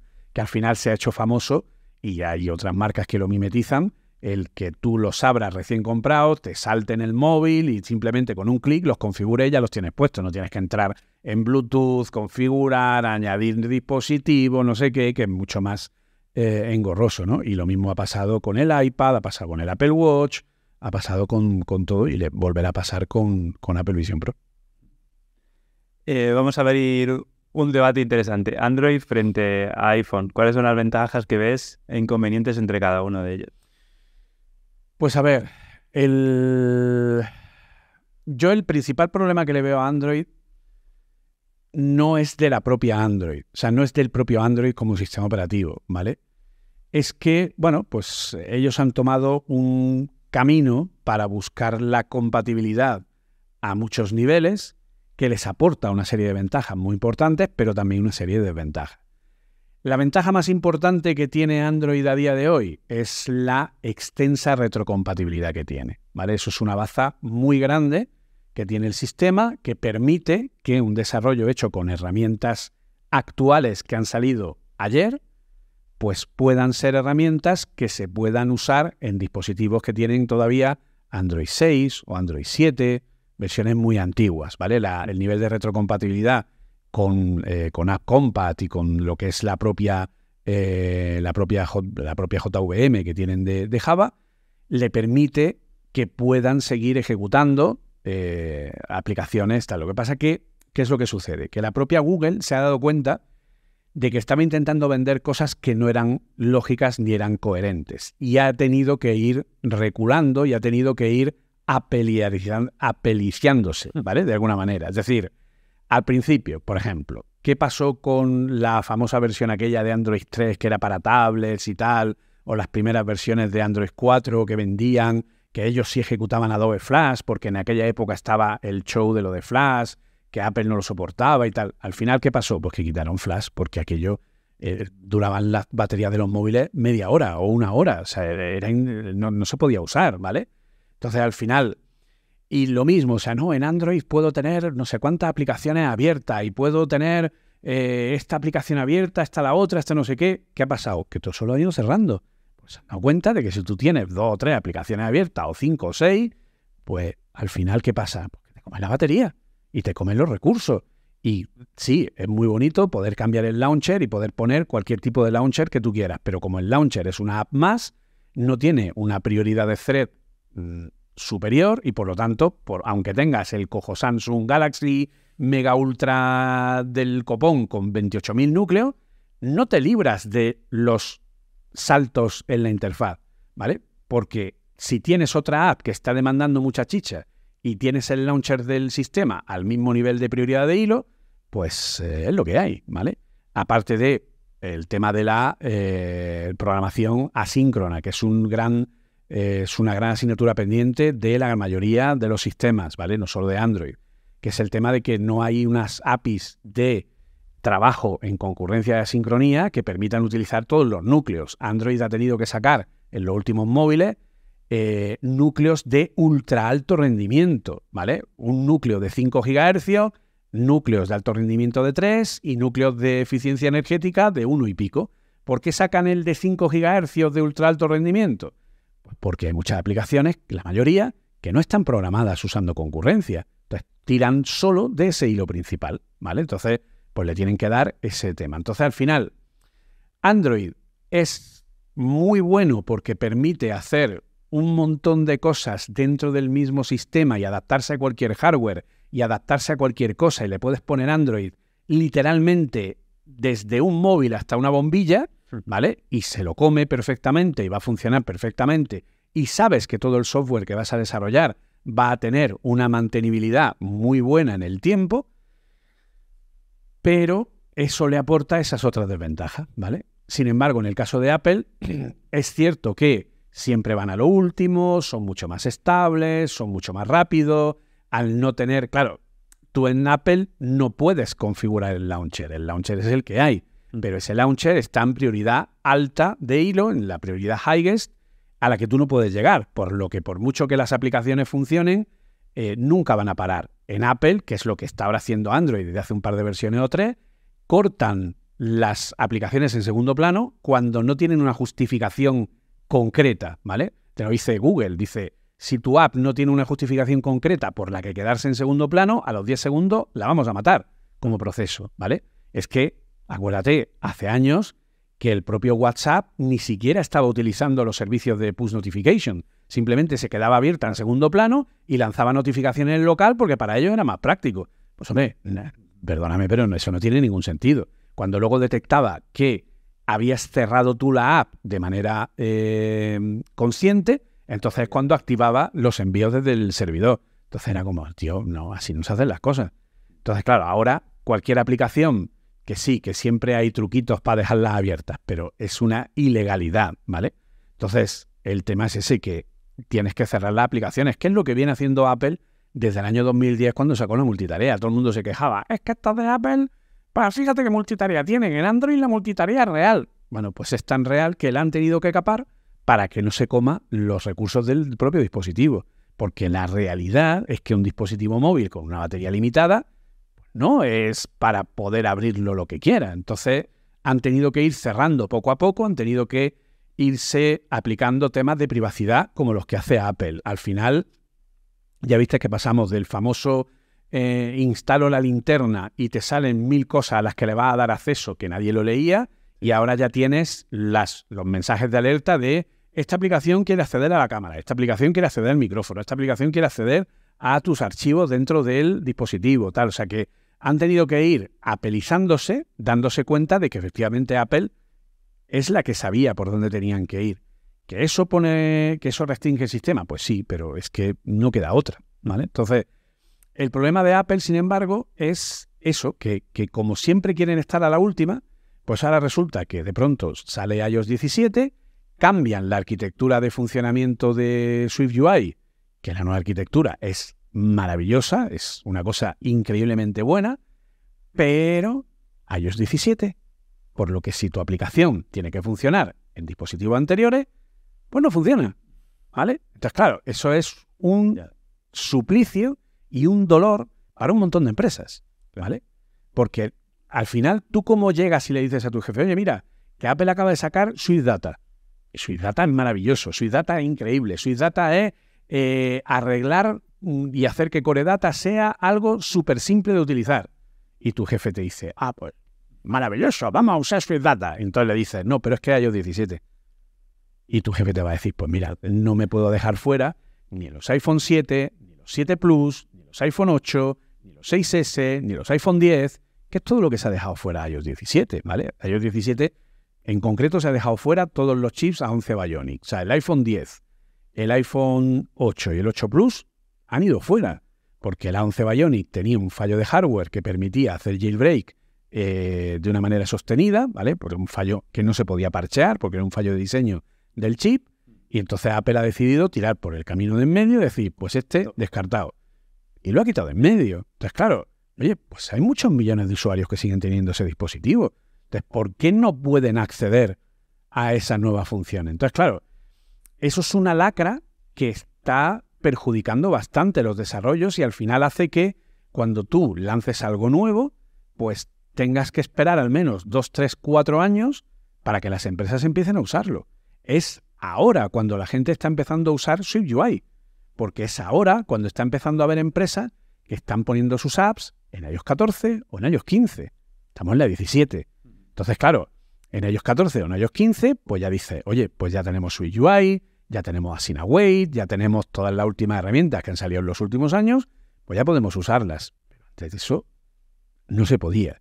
Y luego aparte hay mucha gente que por lo típico de no, es que si actualizo mi equipo va más lento, si actualizo mi equipo no funciona igual, tal y cual, se quedan, en versiones anteriores. Entonces, ahí hay un problema a nivel de desarrollo bastante, bastante grande, ¿no? Porque al final Apple hace unos esfuerzos increíbles porque todo funcione de la mejor manera y por sacar cosas nuevas, pero claro, eh, no podemos obligar a la gente a cambiar de móvil, lo hemos dicho antes, cada año o dos años, ¿vale? A lo mejor cada más, ¿vale? Pero volvemos a lo mismo, o sea, si yo todavía tengo para pruebas un iPhone 10, oye, es que sigue funcionando igual de bien que el primer día que a lo mejor no va muy allá. Ve, cámbiale la batería, que ahora Apple por 100 pavos te cambia la batería de cualquier dispositivo por una original, ¿vale? Paga 100 pavos y tienes móvil nuevo para otros dos o tres años. De hecho, hay un montón de gente que me dice, no, es que yo tengo un iPhone 10S, un iPhone 11, tal, y claro, es que, joder, me va muy bien, pero claro, ya la última actualización va más lento y tal. Le dice, bueno, pues mírale la batería. Si la batería está cerca o por debajo del 80% de vida útil, te pillas tu, cita en el, en el Genius Bar, llevas el móvil, te cambian la batería y vuelves a tener móvil nuevo. Entonces, volvemos a lo de siempre, es decir, no hay por qué estar cambiando continuamente, pero si desde desarrollo están pegando de esa manera, pues oye, es un problema, ¿vale? Es un problema importante porque al final yo cuando doy formaciones le tengo que decir a los alumnos, si vuestra aplicación es iOS 17, así, si es 16, así, si es 15, así. Es... Eh, no es serio. ¿Vale? Y aparte es que la propia Apple ya tiene herramientas para conseguir la retrocompatibilidad. ¿Vale? ¿Por qué? Porque en Android a nivel de arquitectura, lo que tú tienes es una JVM que al final está recogiendo el código intermedio que se compila desde Java o desde Kotlin, y eso le permite, a partir de una capa de abstracción, que es el App Compat, entre las APIs que tiene la versión concreta de Android, más las APIs que se cargan desde los nuevos desarrollos que tú vayas haciendo, porque al final todo ese desarrollo termina siendo instrucciones más básicas que sí tiene todo el sistema, pues a través de esas dos librerías y a través de esa conexión, a través de la JVM, consigues la retrocompatibilidad, oye, y perfecto. ¿Qué pasa? Que en Apple no funciona así. En Apple las librerías van cargadas directamente en el sistema operativo. Si tú tienes iOS 16 y en iOS 16 la librería de SwiftUI no tiene la parte de eh, pues no lo sé, de las nuevas animaciones que han metido en 17 con los keyframes, pues sí, es que no lo tiene. Entonces, si tú intentas ejecutar esas instrucciones que son de iOS 17 en iOS 16, la app va a petar, porque no va a encontrar las referencias a nivel binario, porque esa versión de esa librería no tiene esas instrucciones. Entonces, Apple ha sacado, hace ya unos meses, una función que se llama Back Deploy dentro de la librería de Swift, que permitiría extender librerías que no tienen esa funcionalidad para incorporarle la funcionalidad que le faltan como dependencias dentro del ejecutable a una librería que está cargada en el sistema operativo. Y ya lo están usando en ciertas cosas. Pero claro, eso requiere un trabajo de minería en el último nivel de todo de la mina, donde ya casi no se respira, eh, para ponerlo todo funcionando, para poder conseguir esa retrocompatibilidad. Entonces, eh, les va a costar, ¿vale? Yo tengo la esperanza de que al final lo hagan, pero claro, eso es un poco la, gran diferencia, ¿no? A nivel de arquitectura que hay entre los dos sistemas, con sus ventajas, sus inconvenientes, etcétera, etcétera. Si a día de hoy alguien te dice Apple es mejor o Android es mejor, es un cuñado, ¿vale? O sea, es así. O sea, ¿qué es mejor? Pues yo lo he dicho toda la vida. Lo mejor es lo que se adapta a lo que tú necesitas, ¿vale? Simplemente. Y los dos, es cierto que Android, yo he tenido Android durante muchos años, era un infierno al principio porque era muy inestable, porque no funcionaba bien. Eso ya hace muchos años que pasó. O sea, Android desde, yo diría, versión 8, 9, 10, más o menos, ¿vale? Ya la cosa se ha puesto seria, es lo suficientemente solvente como para competir libremente y, y ser posiblemente una opción. O sea, es como decir, ¿qué es mejor, Spotify o Apple Music? pues oye, por lo que, por lo que más te guste, ¿vale? Lo que más se adapte a ti, pues eso es un poco en lo que estamos a día de hoy. Y los smartphones que salen, pues eh, ya se está viendo. O sea, Apple ya no gana todos los premios, ni gana todo lo tal, ni, oh, Apple es el mejor. No, hay veces que gana el Samsung, que gana el OnePlus, que gana el otro. ¿Por qué? Pues porque, bueno, pues tienen ahí una competencia, los Pixel, etcétera, etcétera. Entonces, por suerte tenemos un mercado lo suficientemente amplio como para que pueda haber opciones para todos. Totalmente. Y yo creo que una de las grandes diferencias también es el tema de sistema abierto frente al sistema cerrado, ¿no? El que Apple, al final, si entras en su ecosistema, todo funciona muy bien, pero no intentes salirte de él, ¿no? Porque puedes tener ciertas limitaciones ahí. Sí, lo que pasa es que, bueno, ahí Android también tiene trampa, porque Android es parcialmente abierto, pero luego tiene la parte de los servicios de Google que son suyos y, en fin, y ellos te, ponen sus propias normas. Yo tengo una teoría que de vez en cuando la repito, que es que Android eh, terminará por desaparecer, ¿vale? No como marca, ¿de acuerdo? Porque seguirá llamándose Android pero en algún momento Google decidirá eh, sustituirlo por, eh, por otro kernel nuevo, ¿vale? Otro kernel que no esté basado en Java, que no tenga la JVM, que garantice un funcionamiento mucho mejor, etcétera, etcétera. Eh, y de pronto, esto pasará, ¿vale? O sea, de pronto llegará un día en el que dirán, el nuevo kernel de Android que hace no sé qué tal. El día que quiten la JVM o la pongan como un componente, digamos, eh, opcional, ¿vale? Ese día será cuando realmente hayan metido todo el núcleo de lo que es eh, que es lo que están ellos ahora mismo, que ellos lo clasifican como un experimento, ¿vale? Pero es que ese experimento tiene un objetivo muy claro. O sea, ellos lo que quieren es poder tener ese kernel de ese sistema operativo Fuxia para ser un sistema operativo que le puedan poner a todo, porque ellos quieren que los Chromebooks, los móviles, las teles, el tal, todo lo que le puedas poner el sistema operativo de Google, tenga este nuevo sistema operativo que no esté basado en, Java y que permita, pues, hacer desarrollos. De hecho, Fuchsia tiene soporte de Swift, tiene soporte de Rust, tiene soporte de un montón de lenguajes que por sistema no tiene el propio kernel de Android. Y repito, se va a seguir llamando Android. Lo que pasa que habrá un momento en el que el kernel cambiará y pasará de ser el actual de Android, con los años que tiene, a uno nuevo mucho más eficiente, que es el que están gestionando con, con Fuxia. Pues sí, eh, es muy posible que el camino vaya por ahí, ya lo iremos viendo. Pues sí. Pero eh, desde hace mucho tiempo, como bien dices, es, eh, los Play Services son como la trampa para que te quedes atado a Google, porque sin ellos un móvil prácticamente no funciona y hay muchas aplicaciones que ya confían en ellos como si, estuvieran dentro de la propia plataforma de Android. Entonces, si lo intentas ejecutar en un Android que no tiene los Play Services, vas a tener muchos problemas. Pero es lógico, porque ten en cuenta que al final a Google se han aprovechado mucho de su trabajo. O sea, Huawei ha, querido y ha hecho su propio sistema operativo. Eh, Amazon, que de hecho ahora sabes que ha anunciado que va a cambiar el kernel y que va a dejar de depender de Android y que ya ha creado un propio anunció hace unos meses que ya tiene un sistema operativo propio con un kernel propio, mm.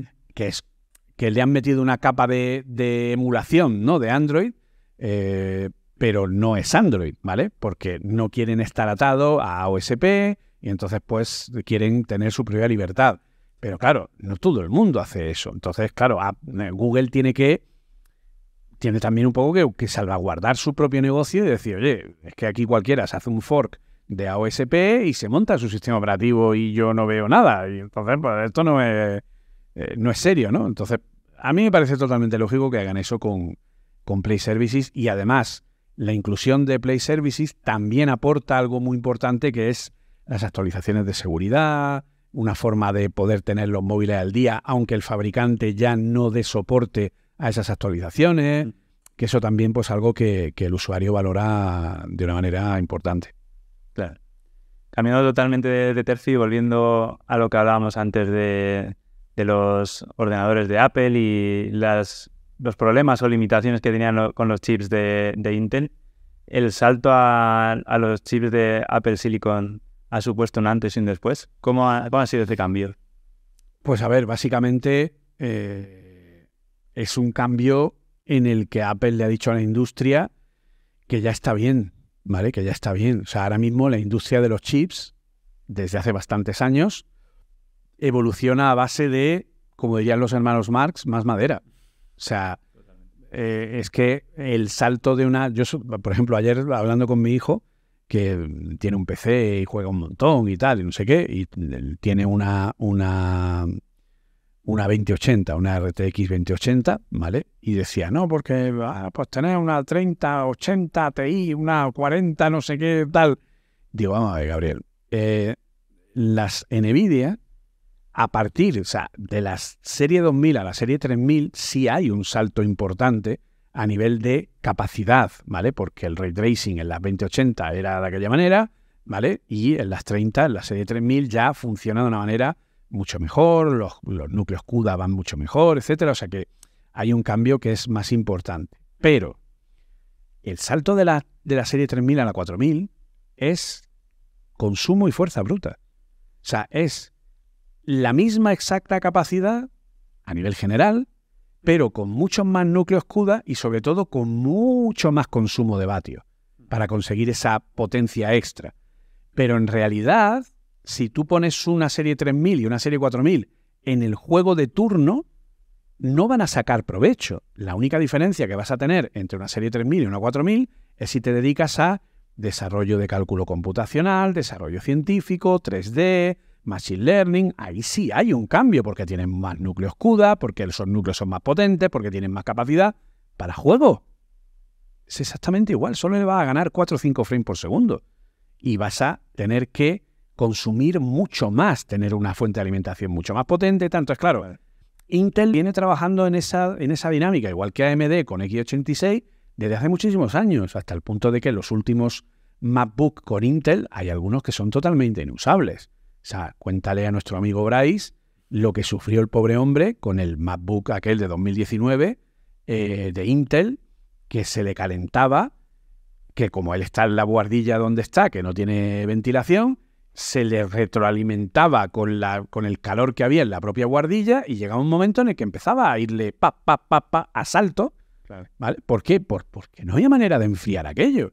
¿De acuerdo? Entonces, Apple, ¿qué es lo que ha hecho? Ha sido demostrarle a industria del hardware, no hace falta tener el cojoprocesador de ultraconsumo con 800.000 millones de núcleos para que aquello funcione bien, que una arquitectura como ARM, ¿vale? Que es una arquitectura RISC, una arquitectura de instrucciones reducidas, que sí, que es menos eficiente. Obviamente, una arquitectura CIS, que es la que tiene x86, que son instrucciones complejas, lo que va a hacer es tener muchas más instrucciones para hacer cosas de forma que siempre va a ser más, eh, más práctico, ¿vale? Y es cierto que lo mismo en una ARM con un conjunto de instrucciones reducidas va a necesitar mucho más paso, ¿vale? Yo siempre pongo el mismo ejemplo, no es un ejemplo real, pero es un ejemplo que nos ve de una manera muy clara la diferencia entre el conjunto de instrucciones complejas y el conjunto de instrucciones reducidas, que es el que tiene ARM. El conjunto de instrucciones complejas es como si tú tienes una operación de multiplicar en el que le dices 5 por 6 y él te dice 30. Ya está. Y en una sola operación obtienes el resultado. En instrucciones reducidas es como si no tuvieras la instrucción de multiplicar y para obtener 5 por 6 tienes que multiplicar 5 veces 6. O sea, sumar, sumarlo, directamente. Entonces tienes que hacer 5 operaciones para llegar al 30. ¿Vale? Llegas al mismo resultado, pero necesitas más pasos. ¿De acuerdo?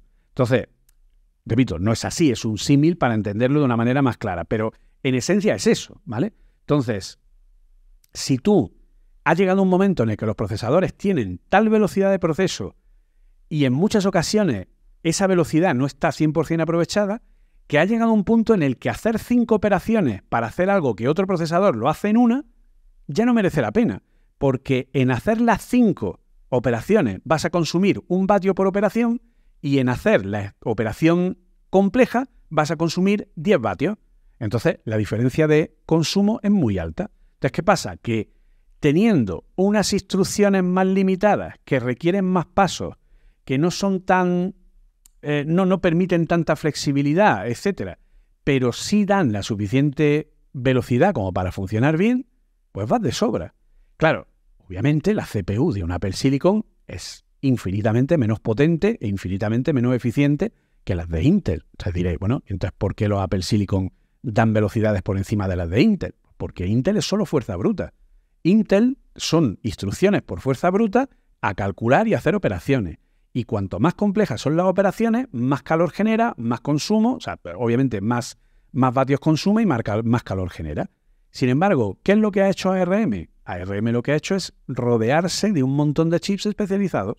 Apple Silicon tiene alrededor mm, casi 30 componentes independientes de la CPU que se encargan de hacer de todo, la codificación de vídeo, la gestión de los chips de sonido, el machine learning, las operaciones de cifrado, las operaciones de compresión, las operaciones de gestión de los puertos de entrada y salida, y tiene, insisto, o sea, la parte de gestión de imágenes, etcétera. Entonces tiene tantos chips especializados, es como sucedía años a cuando nosotros teníamos un ordenador normalito con su Super VGA o su lo que sea, y llegaba y te compraba una 3D FX. ¿Y qué era la 3D FX? Era una aceleradora 3D. Mm.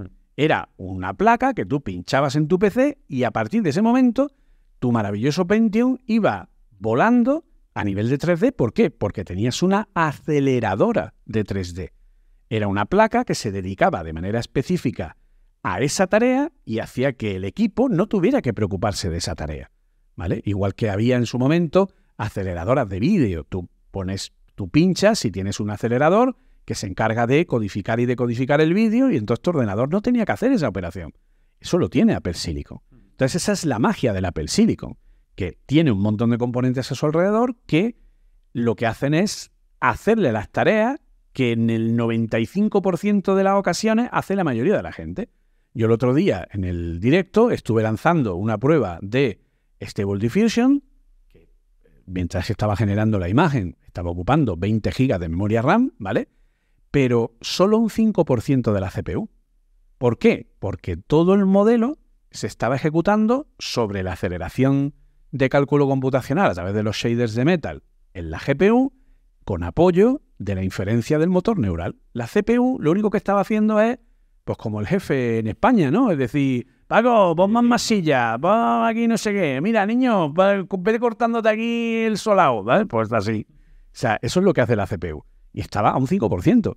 ¿vale? Entonces, claro, pues para esa tarea, ¿no? Lo, lo que estaba usando. esa es la magia de Apple Silicon. Y luego la otra magia que tiene es justo lo que hemos comentado antes, el tema de la concurrencia.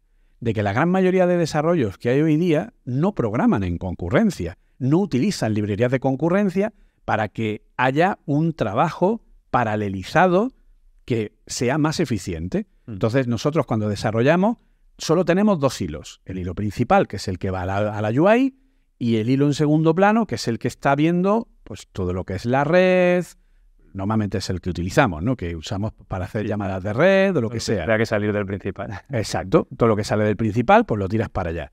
¿Vale? Pues, y, y ya está, no usamos nada más. ¿Vale? Entonces, eso al final te limita al usar uno o dos hilos. Pero resulta que tenemos procesadores que tienen, pues eso, en el caso de, Apple Silicon, pues tiene 10 núcleos. Pues en el caso de, Apple, esos 10 núcleos tienen un hilo cada núcleo de CPU. Entonces, ¿qué pasa? ¿Que solo vas a usar dos? Pues esa es la magia que tiene Apple Silicon, que ha metido un controlador de procesos que además funciona en parte con Machine Learning, apoyado en el motor neural, que lo que hace es no decir yo tengo tal proceso que tiene que ir a la CPU y lo voy a ejecutar tal cual en el hilo principal porque no está programado para trabajar en concurrencia. No, es como un despachador que se encarga de enviar de manera paralelizada todas esas operaciones al resto de núcleos. Entonces, genera concurrencia cuando no hay una concurrencia programada. ¿Ok? Entonces, eso hace que tenga un mayor aprovechamiento de los núcleos y, por lo tanto, aunque no programes en concurrencia, tú ejecutas y está usando los 10 hilos o los 8 hilos o lo que sea. De hecho, los nuevos M3, una de las características que tienen, porque ha habido una reducción en los núcleos de alto rendimiento, los nuevos M3, y la gente ha dicho, ay, es que Apple los ha nerfeado, tal, no sé qué, como diría mi hijo, ¿no? Que los ha bajado de vueltas, ¿no?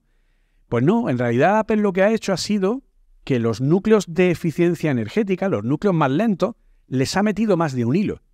Entonces ahora un M3 Pro que tiene 12 núcleos, que antes tenía 10 de alto rendimiento y 2 de eficiencia, ahora tienen 6 de alto rendimiento y 6 de eficiencia. Le ha puesto más núcleos de eficiencia. Entonces, claro, tú podrías pensar, bueno, pues son más lentos. No, porque como le ha metido un hilo más a cada uno de los de eficiencia energética, porque ha visto que hay muchas operaciones que van a eficiencia energética, pues ahora tienes 12 hilos funcionando. Por lo tanto, tienes 6 de, alto rendimiento y 12 de eficiencia. Son 18 hilos que gracias a este gestor de procesos, RAS, te meten un acelerón en el equipo de fliparlo. ¿Vale? Y encima sin calentarse. Que Y encima, exacto, sin calentarse, porque al final ARM funciona de una manera en la que solo procesa una instrucción a la vez, ¿vale? Porque no necesita, o sea, Intel procesa todas las instrucciones en paralelo a la vez y eso genera mucho calor y mucho consumo. ARM no. ARM está pensado para ir trabajando de uno en uno. Es decir, ARM a grandes rasgos es como una autopista de peaje donde solo hay un carril habilitado.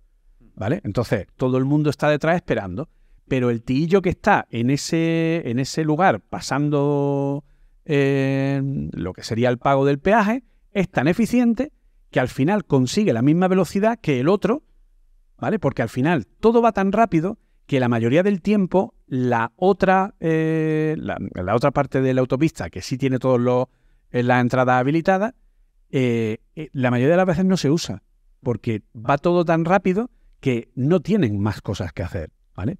Entonces, mientras ese trabaja menos, o sea, no le pasan tantos coches, a este siempre está a tope, pero lo hacen de una manera tan rápida que al final, pues consigue eso, que no haya tanto calentamiento, que tú tengas un consumo pues, de 30, o sea, yo qué sé, por ejemplo, el M3 base, que ahora mismo tiene un TDP de 15 vatios. O sea, 15 vatios, es de coña lo que consume eso para hacer todo lo que hace, ¿vale?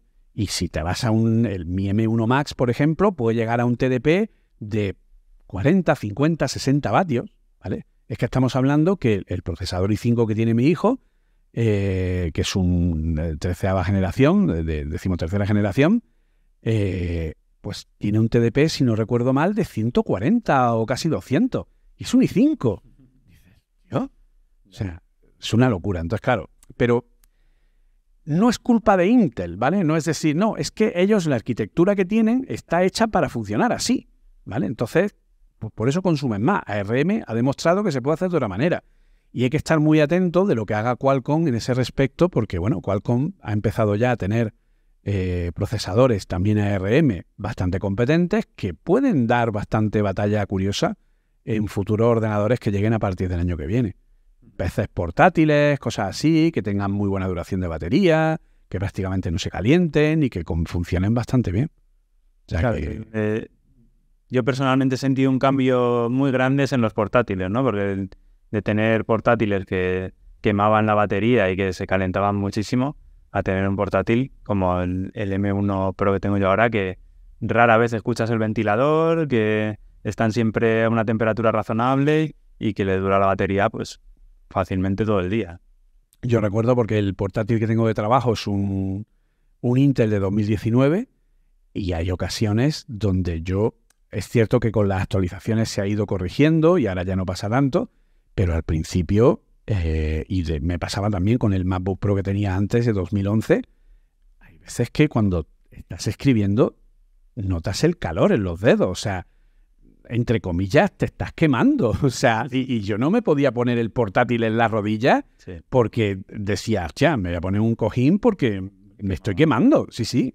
O sea, claro, no tiene ningún sentido. Es que yo he llegado a hacer pruebas de hecho, lo, cuando empecé a hacer reviews de los MacBook, una de las pegas que le puse fue eso. O sea, el MacBook primero de Unibody, cuando le pedías chicha, la CPU se podía poner a 90 grados fácilmente. Eso no hay chasis que lo aguante. ¿Vale? Y aquí tú, un Apple Silicon, rara vez vas a ponerlo por encima de los 50-60 grados. O sea, eso ya es que le está exigiendo muchísimo. Y yo con el M1 Max que tengo, pues he llegado a estar, yo qué sé, eh, pues recuerdo, por ejemplo, estar grabando de una fuente de audio externa, o sea, tener la, una cámara, eh, una facecam como la que tienes tú aquí, eh, apuntando de manera de cenital al iPad, ¿vale? Porque estoy escribiendo y quería que se viera cómo iba escribiendo en el iPad. Luego, la cámara Sony, que es la que hace los directos, con la CanLink del gato directamente grabándome a mí. Luego grabando la pantalla del Mac a 4K, que es como yo lo tengo puesto. Y además grabando la pantalla del iPad a 2K, que es la resolución del iPad de 13 pulgadas, de 12,9. Todo eso a la vez, a través de OBS, grabándose todo a la o sea, a través de, en este caso, de ScreenFlow, ¿vale? Eh, grabándose todo a la vez, ¿vale? Y el que servía la señal del micro y de la cámara Sony era el OBS a través de la cámara virtual. O sea, tenía montado OBS, ScreenFlow, varias cámaras a la vez, capturas de audio, todo funcionando en tiempo real. Y el equipo es que no se oía para nada.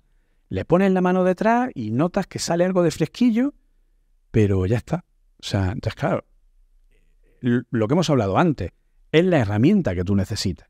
¿Vale? Entonces, si esa herramienta te da lo que necesitas, pues oye, adelante. Y hablando de esto, la, razón por la que yo me compré este portátil es porque escuché uno de tus análisis fondo, donde contabas cómo funcionaban estos chips, ¿no? Y me pareció, pareció increíble, justo como tú mencionabas, lo que necesitaba, porque yo en aquel momento venía de un Dell que me pasaba lo que tú comentas, me lo ponía en las piernas y me quemaba literalmente y eh, iba lentísimo para toda la potencia que tenía y, y no, noté que necesitaba ese cambio, ¿no? Además, cuando estaba a la vez grabando y, y compilando en Android Studio a veces se me cortaba la voz en los directos, cosas de este estilo, ¿no? Que, que hacen que obviamente para los que nos dedicamos a, tema de contenidos pues sea un problema. Claro. La, mi pregunta va más, ¿cómo eres eh, capaz de crear esos análisis a fondo? Porque entiendo que esa información, no lo sé, pero que no, no está tan abierta como para que alguien llegue y la consuma de forma sencilla. A mí yo lo que viene ese análisis a fondo es que tenías un conocimiento súper profundo de cómo funcionaban los nuevos chips y que además eras capaz de, explicarlo para cualquier persona que tampoco tuviera muchos conocimientos sobre el tema. Entonces, ¿cómo te preparas tú ese tipo de, de análisis a fondo? ¿De dónde sacas la información? ¿Y cómo la estructuras para que luego a la gente le llegue también? Pues, a ver, básicamente lo que hago es buscar en, obviamente, en análisis. A ver, hay una parte de información que yo ya conozco, pero también es cierto que voy buscando todo tipo de fuente de información. Entonces voy disgregando, ¿no? Por ejemplo, pues ahora mismo eh, si te explico cómo la diferencia que hay entre CIS y RISC, pues ¿qué hago? Pues voy mirando eh, documentación o páginas donde te expliquen pues qué es un procesador RISC, cómo funciona, qué es un CIS, las diferencias que hay, cómo los buses de instrucciones, tal, no sé cuántas. Entonces luego voy y busco qué es ARM, cómo funciona, eh, la forma en la que tiene. Voy condensando un montón de fuentes de información y entonces, lógicamente, pues eso te da parte del, del mensaje. Luego voy viendo los propios vídeos de Apple. Los vídeos de Apple tienen siempre pequeños mensajes que con el conocimiento suficiente extrapolan más información de la que ellos en realidad están dando, ¿no? Para darle un conocimiento un poco más específico a lo que es el, lo que te están contando, ¿vale? Entonces, claro, eh, todo ese conjunto de información, ¿vale? Eh, previo a ChatGPT, pues eh, lo, vas, lo vas viendo, lo vas cogiendo, lo vas ordenando, ¿no? De alguna manera. Y cuando ya lo voy ordenando, pues voy tomando mis apuntes, mis pequeñas notas, tal, de lo que tengo que ir comentando en un caso, en otro, tal, tal, tal, tal, tal. Todo eso lo tengo. Sobre todo, lo principal es entender de lo que vas a hablar, ¿vale? O sea, yo lo que, lo que necesito siempre es entender lo que estoy hablando a nivel de conocimiento, no a nivel de memorización, ¿vale? O sea, yo no me lo estudio como una lección de historia que luego lo sueltas. No, yo necesito entenderlo y comprenderlo, ¿vale? Entonces, cuando yo lo entiendo y lo comprendo, pues luego lo puedes volver a contar en cualquier momento, pues como hemos contado aquí algunas características, ¿no? Entonces, ese sería un poco el, el objetivo, ¿no? A nivel general de, cómo lo hago. Es cierto que los últimos análisis que he hecho de los M2 y los M3, esos ya sí los he hecho, por ejemplo, con, con ChatGPT, ¿vale? O sea, uso ChatGPT como herramienta, pero claro, ChatGPT tiene un problema bastante serio, es que no todo lo que te cuenta es 100% real, ¿vale? Entonces tengo que hacer una, eh, digamos, tengo que hacer lo que se llama el método científico, ¿no? que es una variación por pares. Entonces yo la información que me da ChatGPT, que tienes, pues claro, no es cuestión de decir, oye, cuéntame el... No, o sea, tienes, o sea, yo los prompts que le puedo dar a GPT en el último análisis del M3, pues han podido ser fácilmente prompts de 30, 40 líneas, ¿vale? Diciéndole, en base a esto no sé qué, tal y cual, con este tal, con este igual, y luego cuando él me va dando información, yo tengo que ir buscando en Internet y validando que todo lo que me está contando es correcto, ¿no? Entonces, ChatGPT ha sido una fuente de información más, que es cierto que me está ayudando muchísimo a recopilar, a condensar. La propia, el propio ChatGPT sabe bastante de temas técnicos, de temas tecnológicos, entonces ayuda bastante, pero en muchas ocasiones cuando son temas muy abstractos se pierde o no sabe cómo explicártelo bien, se le va un poco la perola, entonces tienes que ir buscando tú o te da información que es falsa y le tienes que decir, oye, no, esto no es así y tal. Entonces, no pueden ser conversaciones brutales, pero es una fuente más, ¿vale? O sea, digamos que podría ser fácil el 50%, ¿no? O sea, en vez de tener que buscar todo, todo, todo en Google, pues ahora parte lo busco en Google y parte lo puedo ver y lo puedo, eh, digamos, estructurar, ¿no? Con, con ChatGPT y eso me permite, pues, poder sacar el mega análisis, pues a lo mejor pues un par de días o tres antes de lo que normalmente tardaría si no tuviera esa nueva, esa nueva herramienta, ¿no? Y luego pues a la hora también de generar los resúmenes, tal, que luego nunca de lo que me saca lo uso tal cual, porque los resúmenes que hace cuando le dice, eh, hazme la descripción para el vídeo de YouTube o hazme la descripción para tal, la que te pone más fea que pegarle un padre, en ese sentido. Eh, descubre la forma de... Es totalmente antinatural, ¿vale? Nadie habla así. Entonces yo lo que hago es que sobre las ideas que él me va dando, yo lo re-redacto, ¿vale? Como periodista y lo pongo con mis palabras, con mi lenguaje, con mis ideas, ampliándolo, quitando partes que él me da, etcétera. Pero bueno, es un poco como lo que en una de las últimas charlas que di sobre inteligencia artificial, porque es una parte de la que me estoy empezando a, también a convertir en evangelizador, ¿vale? Dentro de lo que es, eh, fuera de lo que es el tema Apple, también estoy haciendo hincapié en todo el tema de la inteligencia artificial, he dado ya varias charlas sobre IA generativa, cómo funcionan los distintos modelos, que, si, cómo, que, es una GAN, que es un modelo de, red adversaria, eh, que es un transformer, cómo funciona, que es un modelo de difusión, que es una red NERF, que son distintos, ¿vale? Todo ese tipo de cosas, eh, pues he estudiado durante mucho tiempo. De hecho, voy conociendo todo esto desde el año 2017 cuando Apple sacó Core ML, ¿vale? Entonces hemos metido todo el tema de realidad aumentada y machine learning en todas nuestras formaciones desde hace más de seis años. Y entonces, claro, pues todo esto me ha ido dando un bagaje y ahora pues me he especializado también en todo el tema de la evangelización de, la inteligencia artificial. Y, entonces, bueno, pues es un poco, en una de las charlas que di hace poco, había una empresa de, diseño gráfico que nos decía que las herramientas de pues, un Midjourney, un Dalí, etcétera, no eran prácticas. O sea, no se podían hacer trabajos reales con eso. Que sí, que para la portada de un podcast, pues sí, porque te da igual que el, diseño o el estilo cambie completamente y no tenga nada que ver, ¿vale? Para cosas de matacaballo es muy práctico, yo soy el primero que lo utiliza siempre. Pero si quieres crear un mensaje identificativo con una línea de diseño, con una línea de colores, con una línea de mensaje a nivel gráfico, ¿no? Que cuando alguien vea tu grafismo sepa que eres tú, porque identifique tu marca, porque identifique tu... Eso con IA no se puede hacer, ¿vale? Y dudo mucho que se pueda hacer, por lo menos en los próximos años, ¿vale? Entonces, claro, pero sí es cierto lo que ellos decían, que la IA, a nivel de generación de contenido, podía ser muy buena para darte inspiración en un momento en el que dice, joder, es que no sé por dónde tirar. Se lo dice a la IA, oye, mira, a ver, tal, tal, tal, y a lo mejor de lo que te da, no te sirve todo, ¿vale? Pero a lo mejor te da, yo qué sé, pues si te da un póster como este que tiene aquí de Marvel, pues de los, de los Vengadores, pues a lo mejor la composición no, pero dice, oye, pues estos colores o el escudo ahí y tal, podría ser una idea, y te da ideas, ¿no? Te, te, rompe, ¿no? Lo que sería la, página en blanco, ¿no? El, tema de la página en blanco. Entonces, para eso sí sirve, ¿vale? Pero luego ya a partir de ahí, pues tienes que ser, y, y pasa igual con la programación. Yo llevo todo el fin de semana preparando un proyecto para entregar a los, a los alumnos, ¿vale? Una, una API REST. Están vivos. Sí. Eh, una... Steve ha dicho, venga, tira. Eh, yo tengo una, una, me tiro todo el fin de semana trabajando en una API REST para los, eh, un ejercicio para los alumnos, ¿vale? que han terminado el, el Suite Developer Program, que es una de las dos formaciones que tenemos al año. Entonces ellos han tenido dos meses de clase intensiva donde han aprendido Swift, donde han aprendido sincronía y concurrencia, donde han aprendido Swift UI.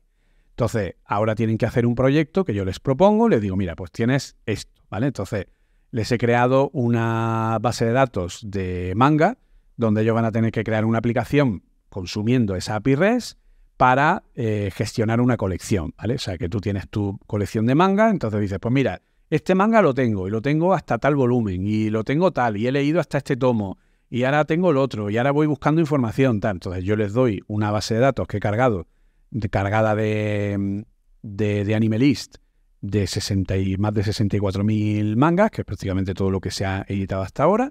Y entonces ellos van a tener que llamar a esa API REST. Entonces todo eso lo he montado eh, con Vapor, que es una solución de lado servidor eh, basada en Swift, que es muy parecida a Gator, ¿vale? Y, entonces, bueno, pues eh, al montar eso, claro, como es desarrollo del lado servidor, está utilizando GitHub Copilot, ¿vale? Y está utilizando también el propio ChatGPT. ¿Qué pasa? Pues lo de siempre, que si no eres programador, el código que te da ChatGPT o el código que te da GitHub Copilot no sirve. GitHub Copilot es bastante torpe, ¿vale? Porque te ayuda, sí, cuando la, mejor utilidad que tiene GitHub Copilot es cuando tienes que hacer código que es eh, repetitivo, ¿vale? Lo típico de que tienes que hacer un cruz de tal tabla, de tal tabla, de tal tabla y de tal tabla. Pues con que hagas el primero, los otros ya te lo hace él solo prácticamente cambiando el nombre de las variables. Pero no le pida algo que sea un poco más eh, nuevo, basado en. porque le va a costar, ¿vale?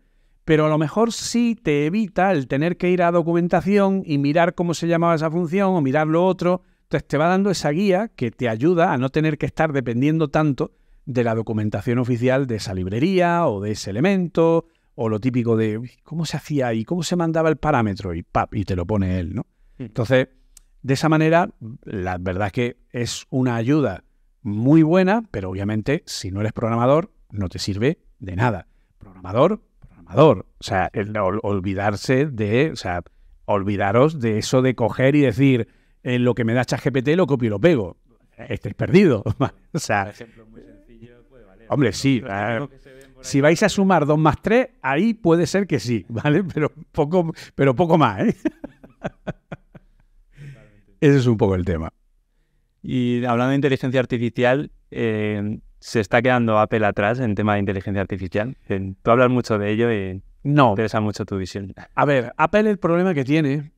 A ver, primero, Apple no se puede quedar atrás en inteligencia artificial porque Apple es una de las empresas que más ha invertido a nivel histórico en inteligencia artificial. ¿Vale? O sea, yo llevo trabajando con Apple en inteligencia artificial desde el año 2017, cuando lanzó su primera librería de trabajo con inteligencia artificial. El mismo año en el que lanzó su primer chip con un motor neural, que ese motor neural es la inferencia de los modelos. Es decir, cuando tú ya tienes un modelo programado y un modelo entrenado, la ejecución de dicho modelo se hace con ese motor neural. Los iPhones, los Mac están llenos de inteligencia artificial. Apple es una de las empresas de más importancia y de mayor nivel de investigación, inversión y desarrollo de la inteligencia artificial del mundo, junto a Meta, junto a OpenAI, junto a Google, etcétera, junto a IBM. ¿Qué es lo que sucede? Que Apple, Google, IBM, Meta, todos estaban trabajando en Deep Learning. Deep Learning basado en, pues eso, etiquetado de imágenes, etiquetado de sonidos, eh, generación de procesos, eh, predicción de contenidos, predicción de lo que ha habido en los últimos años, ¿vale? Y de pronto, en 2018 fue cuando, usando los Transformers que había publicado Google en un, eh, en un paper propio a través de DeepMind, en el año 2017, pues OpenAI coge y utiliza esos, ese paper que lo que hablaba era de los Transformers, que es una forma de red neuronal, que lo que hace es tomar atención sobre distintos valores, ¿vale? Un transformer lo que hace básicamente es que tú, eh, cuando procesas, o sea, hasta ahora a través de Deep Learning, tú cuando procesabas un texto lo tenías que procesar entero, ¿vale? Y eso es una red, a través de una red convolucional. Entonces tú podías pasar un texto completo, por ejemplo, como yo hago con los alumnos, y decirle, yo, por ejemplo, en el bootcamp que tenemos, ¿vale? Que ahora en el año que viene tenemos una nueva edición, hay un módulo de Machine Learning y ahí enseñamos a los alumnos, por ejemplo, a hacer detección de sentimientos dentro de un texto, que básicamente es tener un texto y detectar si ese texto es de algo positivo o es de algo negativo, a partir de lo que está diciendo. Y eso es a través de Deep Learning, a través de una red convolucional, que lo que hace es aprender cuál es la combinación de palabras exacta, más o menos exacta, que utiliza un texto positivo y un texto negativo a partir de reviews de IMDB, de, de reviews positivas y reviews negativas, y entonces así tú le pasas el texto y él te identifica si esa review es buena o es mala, ¿vale? Pero tú estás enviando todo el texto a una red convolucional, que es una red que va dividiendo en pequeños trozos y tratando el contenido por partes, ¿vale? Pero si tú utilizas una red recurrente, la red recurrente te permite mandar el texto en tiempo real, es decir, no mandarle todo, sino ir dándole trozos del texto y que él vaya entendiendo poco a poco en función de donde le va llegando la información, ¿vale?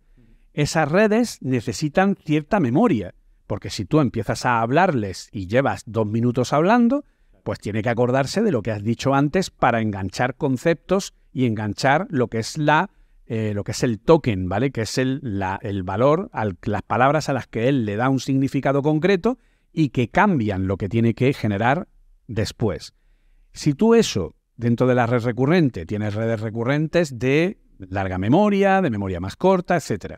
Si todo eso lo llevas al transformer, el transformer lo que hace es coger esas redes recurrentes y crearles un contexto mucho más amplio en el que ahora la interconexión y el entendimiento de los tokens de las palabras de adelante a atrás y de, adelante, o sea, de, de adelante hacia atrás y de atrás hacia adelante, hace que todas las palabras estén interconectadas a nivel de relaciones y el sistema entienda mucho mejor cómo es ese texto y qué es lo que intenta explicar y por lo tanto entender cómo es y cómo lo puede ir completando.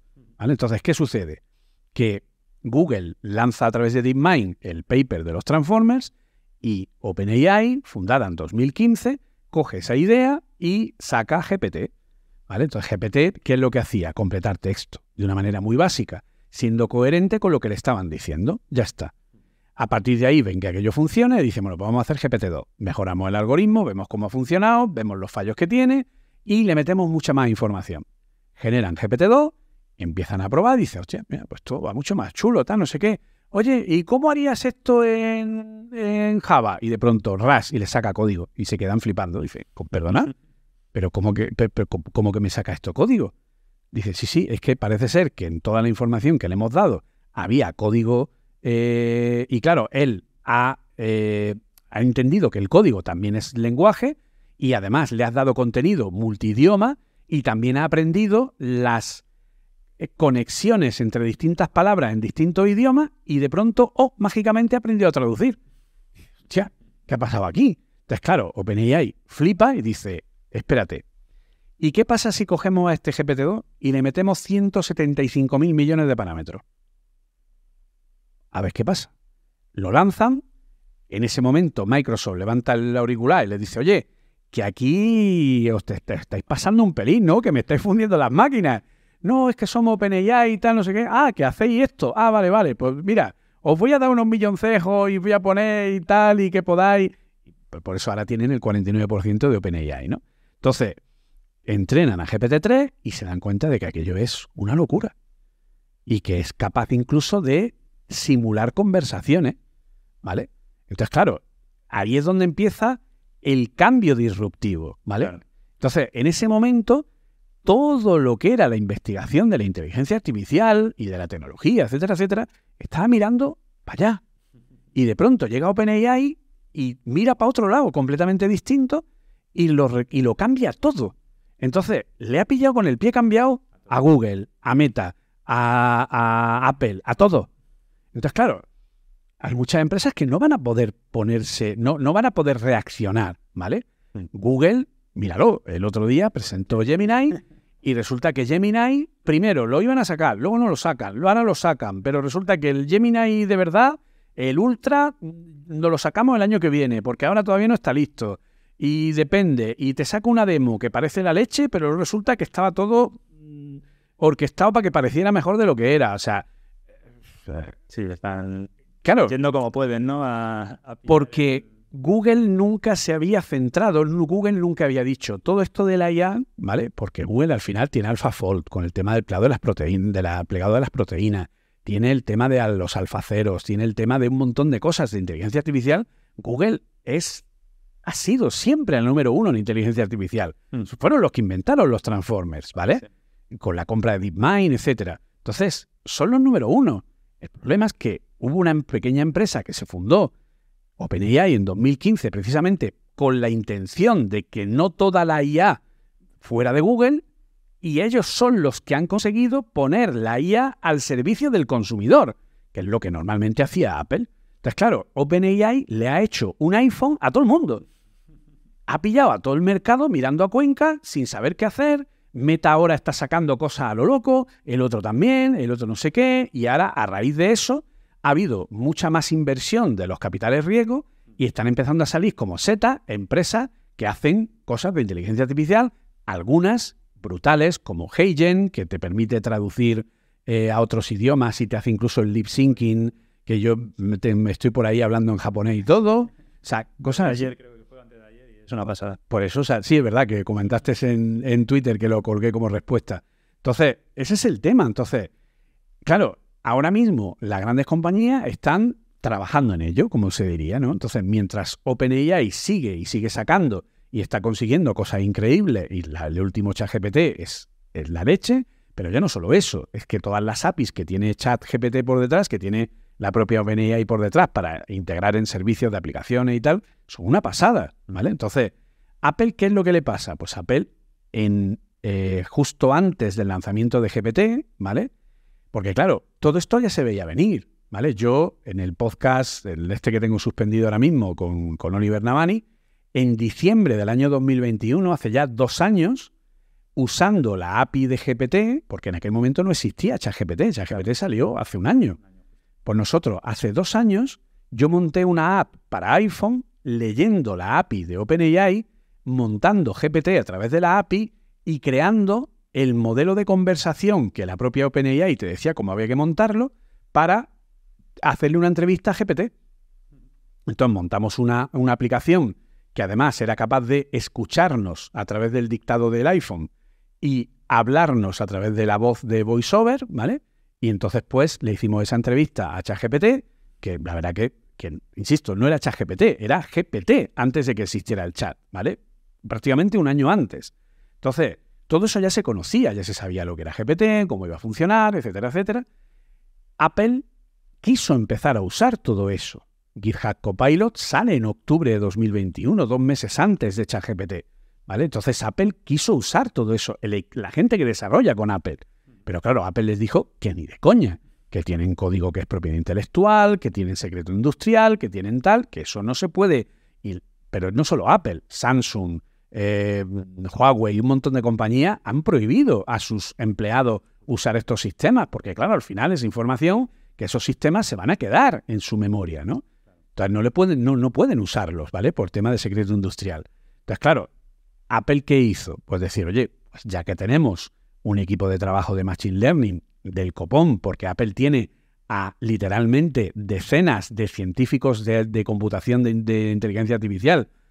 Podéis entrar en machinelearning.apple.com y ahí tenéis que prácticamente cada semana salen nuevos papers creados por Apple a nivel de Machine Learning, inteligencia artificial, eh, nuevos modelos, etcétera, etcétera, ¿vale? Mm. Entonces, desde ahí, como tienen un montón de gente dedicada a esto, un equipo se puso a crear su propio modelo de lenguaje tipo GPT, mm. ¿vale? Y entonces creó un motor eh, que internamente se llama Ajax, que es un motor de motor generativo, que lo que está haciendo es crear una capa de servicios dentro de los sistemas de Apple a través de un servicio que lo llaman ellos internamente Apple GPT, ¿vale? Que GPT es Generative Pre-Trained Text, es texto pregenerado generativo, ¿vale? O sea, no es, perdón, texto no, transformers, ¿vale? Son transformers eh, pregenerados generativos, ¿no? Es un término técnico, no es una marca comercial, ¿vale? Exacto. Entonces, ellos lo llaman Apple GPT internamente, luego le pondrán un nombre de estos bonitos como Retina Display o alguna cosa de estas que se inventan, ¿vale? Eh, y entonces, bueno, pues eh, están trabajando con esos modelos, están creando nuevos modelos. Esto no es algo que yo me esté inventando, esto es algo que está a nivel de rumorología, es algo que está constatado, pero es que aparte Apple ya ha sacado cosas. Apple ha publicado los papers de un modelo de difusión llamado Matrioska, que es capaz de generar imágenes con un realismo brutal a través de un modelo generativo que es suyo propio y que se puede ejecutar en Apple Silicon. No es público, todavía nadie lo ha probado, pero ahí está el paper científico con los resultados. Entonces eso estará montado dentro de los sistemas de Apple, igual que este GPT, igual que lo que harán será matar a Siri, lo que es el Siri que conocemos hasta ahora, porque obviamente los asistentes de voz que nosotros conocemos, ni Alexa, ni Siri, ni Google Assistant, están al nivel de lo que es un GPT. Nadie lo ha integrado todavía, ¿vale? Lo más parecido que tienes es con la app del móvil, que puedes hablar con GPT en modo conversación. Entonces, Apple va a meter, va a crear una nueva Siri basado en este modelo GPT y todo esto saldrá, pues lógicamente, en verano del año que viene, después de llevar casi dos años trabajando de manera intensa en crear su propio motor, su propio desarrollo, etc. Entonces, claro, Apple no es de ir presentando y lanzando cosas en beta o en preview y que la gente las vaya probando. No, no, Apple lo saca para usarlo. Exacto, cuando sale para usarlo. Entonces lo tendremos en la próxima WWDC en apenas seis meses y a partir de ahí pues eh, se integrarán en los distintos sistemas. Obviamente, lo primero que va a sacar Apple no va a ser mejor que lo que haga ChatGPT, ¿vale? Va a estar mejor integrado, va sobre todo a, de nuevo lo que hemos hablado, a ponernos al nivel de consumo de usuario de una manera muy, muy, muy simple para que mucha más gente pueda utilizarlo pero no va a ser ni tan potente, ni tan eficaz, ni tan versátil como lo que tiene OpenAI. ¿Por qué? Pues, lógicamente porque OpenAI lleva trabajando, claro, lleva trabajando desde 2018. Entonces, no se puede coger ventaja a alguien de esa manera. Ya pasó con el iPhone. Android necesitó muchos años para coger al iPhone, porque Apple iba con ventaja. Pues esto es lo mismo. Pero sí va a ser lo suficientemente bueno como para que tengamos esa nueva forma de manejo generativo que va a dar algo bastante interesante. Ya que, genial. Esperaremos a esa Worldwide, bueno, WDC, perdón, que me está inventando el nombre, y a ver qué nos, qué nos presentan. Ya para ir cerrando un poco el círculo, eh, nos falta Vision Pro, se llama, ¿no? ¿Qué esto es? ¿qué podemos esperar de Vision Pro que no hayamos visto en, otros sistemas de, de, mm, de, gafas que hemos tenido ya hasta ahora, ¿no? Pues A ver, es que el tema de Vision Pro tiene dos problemas, o tres, ¿vale? El primer problema es que, como ya hemos comentado, ahora mismo todo el mundo está mirando para otro Todo el mundo está mirando a la IA generativa y entonces que ahora Apple saque un visor, pues a la gente le da igual. ¿vale? Eso es un problema, obviamente, para Apple.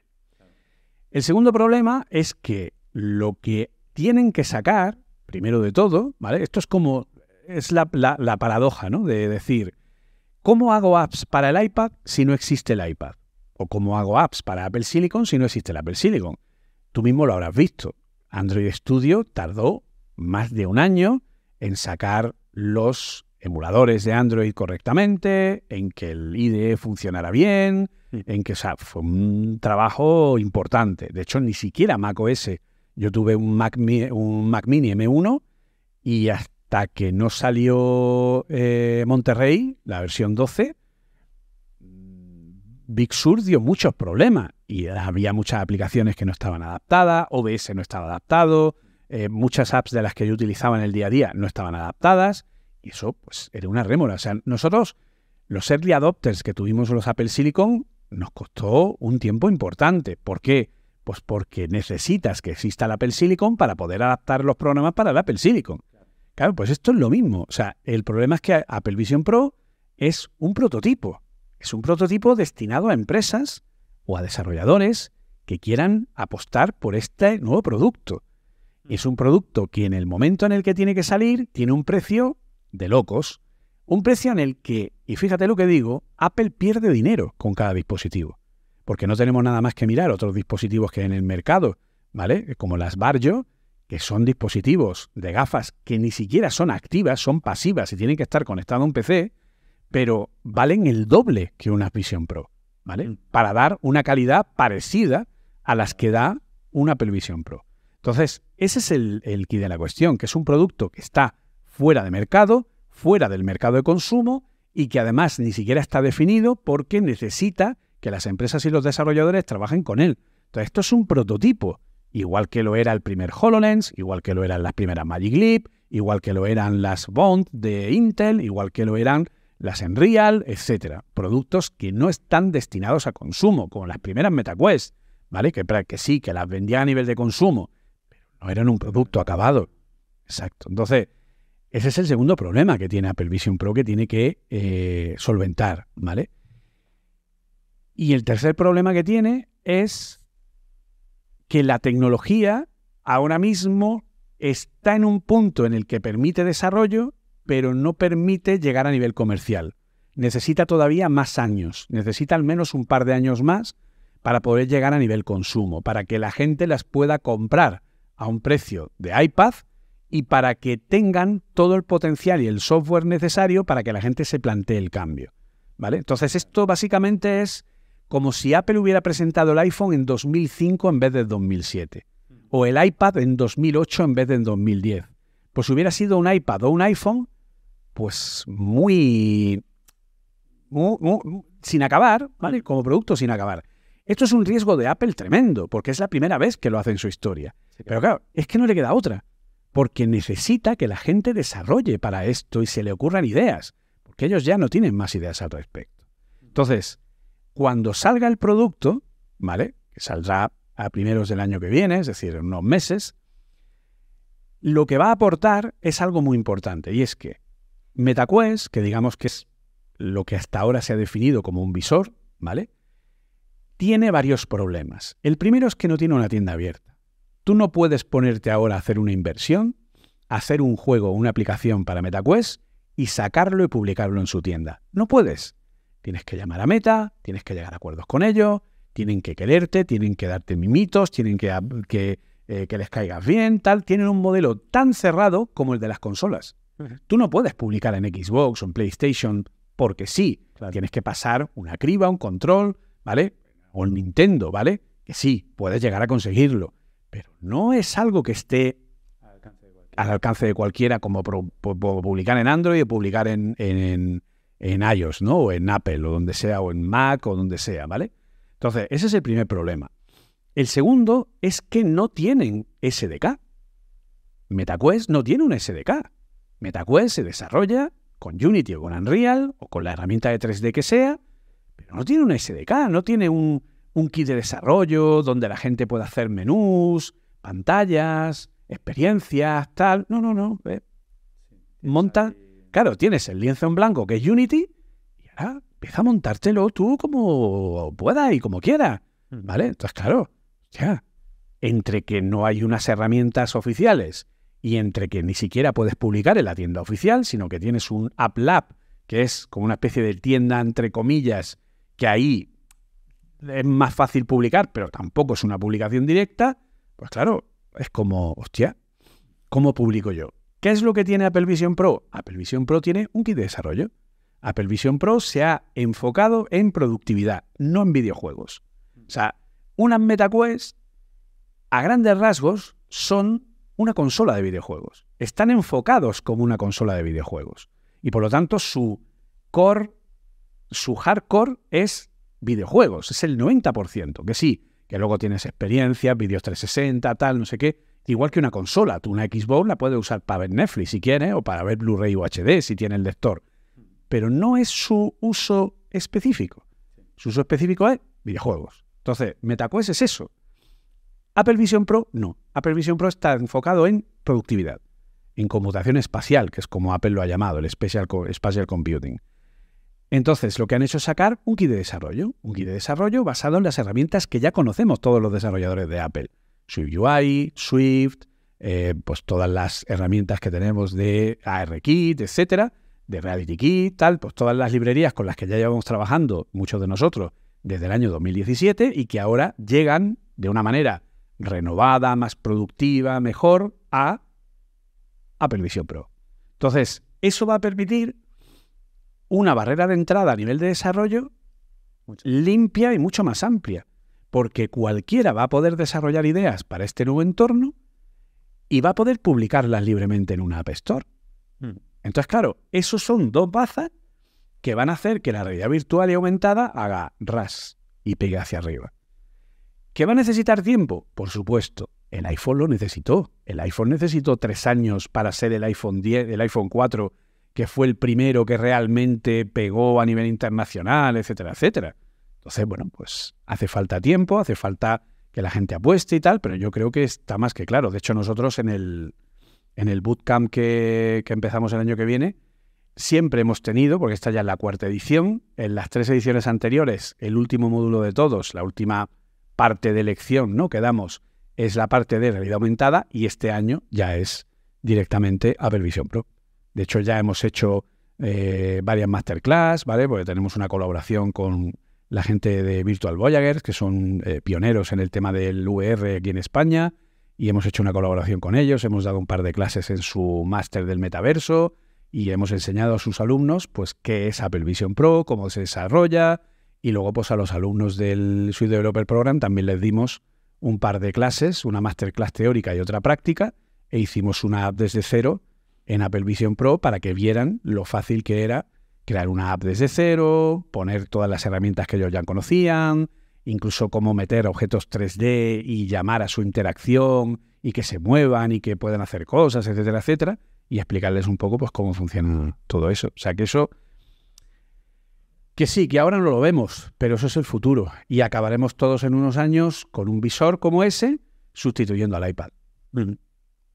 Lo, le, iremos siguiendo el, camino. Y obviamente, ya lo han dicho, Samsung está haciendo la suya, claro. Huawei las suyas, tal y cual, Xiaomi, en fin. Al final, en unos años, pues pasará lo mismo. El binomio Android-iOS, pues será el binomio Vision Pro y, pues, de hecho, MetaQuest es Android, ¿vale? La MetaQuest, todo lo que ejecuta son APKs y tienes el ADB para poder eh, meterle tal y lo pones en modo desarrollo, o sea, tiene una OSP con una capa por encima que ha montado Meta para el tema de 3D, eh, ¿vale? Entonces, al final sigue siendo el binomio iOS-Android. Entonces, pues eh, al final acabaremos así todos con estas lentes y trabajando directamente. Qué bueno, pues lo iremos viendo, ¿verdad? Pues sí. Y ya para ir finalizando, imaginemos que viene alguien que quiere aprender a desarrollar para iOS. ¿Cuál es tu, recomendación? A ver, es que hay varios, eh, varios niveles, ¿vale? Varios, varias formas de poder aproximarse, ¿vale? Si vienes completamente desde cero, obviamente lo primero que tienes que hacer es aprender a programar, que es la programación, ¿vale? Nosotros en el, en el Developer Program, que es el que acabamos de terminar, tenemos una parte de entrada eh, que se le da a los alumnos previamente, que es introducción a la programación, donde se les enseña algoritmos, donde se les enseñan diagramas de flujo, donde se enseña pseudocódigo, donde se enseña lo que es la base de la programación, ¿vale? Porque antes de ponerte a programar, tienes que saber cómo resolver un algoritmo, que es una parte que le falta a un montón de gente, ¿vale? Entonces, nosotros ahora mismo tenemos dos formaciones a nivel principal, ¿no?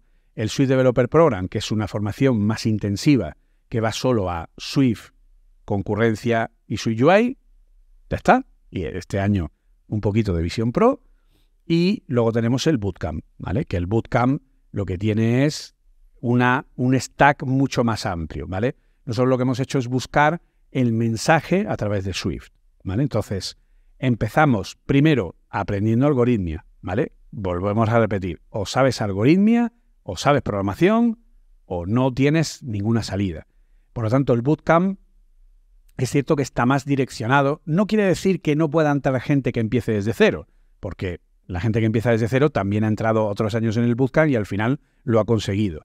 Pero tienen que saber que el esfuerzo va a ser mucho más alto, ¿vale? Porque al final es mucho material. Son cinco meses viendo todo el stack de tecnologías a 20 horas de clase a la semana, ¿vale? Que son cuatro horas de lunes a viernes. Entonces, claro, son casi 400 horas en el que das absolutamente todo el stack formativo de Apple a nivel de tecnología. Swift, UIKit, Swift UI, concurrencia, TDD, eh, trabajo con el tema de seguridad, machine learning, bases de datos, eh, programación multimedia, realidad aumentada, o sea, todo, o sea, prácticamente, y dentro de ahí, pues todo lo que es eh, trabajo de CICD, despliegue en servidores, despliegue de versiones, control de versiones, integración continua, todo el tema de gestión de, por ejemplo, compras integradas, push notifications, tal, pues todo lo que necesita un desarrollador para poder sacarle partido a los entornos Apple, ¿no? Entonces, tanto en últimas versiones como aplicaciones que apunten a versiones anteriores, ¿vale? Que nosotros ahora mismo estamos eh, centrados en iOS 15 porque es la versión mínima que ahora mismo ya se ha establecido como parte del funcionamiento. Entonces, claro, eh, bueno, y aparte también Swift de lado servidor, también damos Vapor para que la gente pueda crear su propia API REST también con Swift, ¿vale? Y cómo se despliega en Linux, y cómo te puedes montar tu propio servicio, etcétera, etcétera. Entonces, claro, es muchísima información que si tú estás dispuesto a dedicarte a pleno rendimiento, como harías con una carrera universitaria, dedicarle todo el día a ese aprendizaje, pues tú terminas siendo una persona con el conocimiento de un senior, ¿vale? Que luego tiene que hacer un proyecto completo. Tienes que hacer una API REST, tienes que hacer una aplicación, esa aplicación para al menos iPhone y iPad, pero puedes hacerla para el resto de dispositivos, porque también aprendemos a desarrollar para Apple TV, para el Apple Watch, para el Mac, para el iPad, para el iPhone, para Vision Pro, o sea, todo lo que es, insisto, todo el stack, ¿no? Entonces, normalmente la gente que se le suele dar algo mejor es la gente que ya tiene un comienzo, ¿vale? Gente que, por ejemplo, eh, ahora mismo trabaja con Android, pero quiere también poder aprender toda la parte de iOS y poder ser un desarrollador eh, en ambas plataformas, eh, gente que ya está en Swift, pero le faltan huecos de aquí y de allí y quiere ponerse al día y quiere eh, de alguna manera aprender más cosas, gente que a lo mejor está muy desactualizada y quiere de alguna manera, o juniors que quieren pasar ¿no? a ser, a ser seniors. ¿no? Entonces aquí son cinco meses de formación más otros tres meses más de proyecto final en el que tú tienes que hacerlo, tutelado por nosotros, y que luego pues ese proyecto es tuyo y si lo quieres publicar en el App Store y monetizarlo y tal, pues oye, adelante y te vamos a echar una mano en todo, ¿no? Entonces, pues eso es un poco la, idea, ¿vale? Y luego, aparte de todo eso, estamos ahora mismo terminando de cerrar una plataforma de contenidos en vídeo, eh, vídeo, audio, artículos, etcétera, que va a ser una aplicación para, para entornos Apple que lo que va a hacer pues, es tener un montón de contenido, todo el contenido ¿no? de Apple Coding, pero ya no solo a nivel de los podcasts, los artículos, etcétera, sino también formaciones a nivel pequeño. O sea, un poco es, digamos, es algo que hemos montado para sustituir a Udemy, ¿vale? Porque Udemy al final nosotros no tenemos el control de la plataforma y por lo tanto es muy complicado que esto funcione bien. Pues todo ese contenido que había en Udemy, más otro mucho más nuevo, además todo lo que en Udemy se está produciendo nuevamente, mm. pero un montón de contenido en plan de pequeños cursos, eh, mini cursos, tips, eh, consultas que la gente nos haga y nosotros les respondamos dentro de un vídeo, es decir, un montón de contenido de, desarrollo, pues para que, pues eso, para que no tengas que ir a ChatGPT o no tengas que ir a Stack Overflow y digas, oye, ¿cómo se hacía una compra integrada? Pues mira, pum, tienes aquí una formación de una hora y media donde te lo explica. Oye, ¿cómo se manejaban los scrolls en SwiftUI? ¿Qué, qué opción hay de manejo de scrolls en SwiftUI? Pues mira, aquí tienes un, un pequeño mini curso de 20 minutos con tres lecciones donde te cuenta exactamente cómo hacer, cómo hacer y cómo hacer y te da el código para que lo uses directamente. ¿Vale? Pues esa es un poco la, idea. Entonces eso saldrá el año que viene y bueno, a ver qué tal funciona.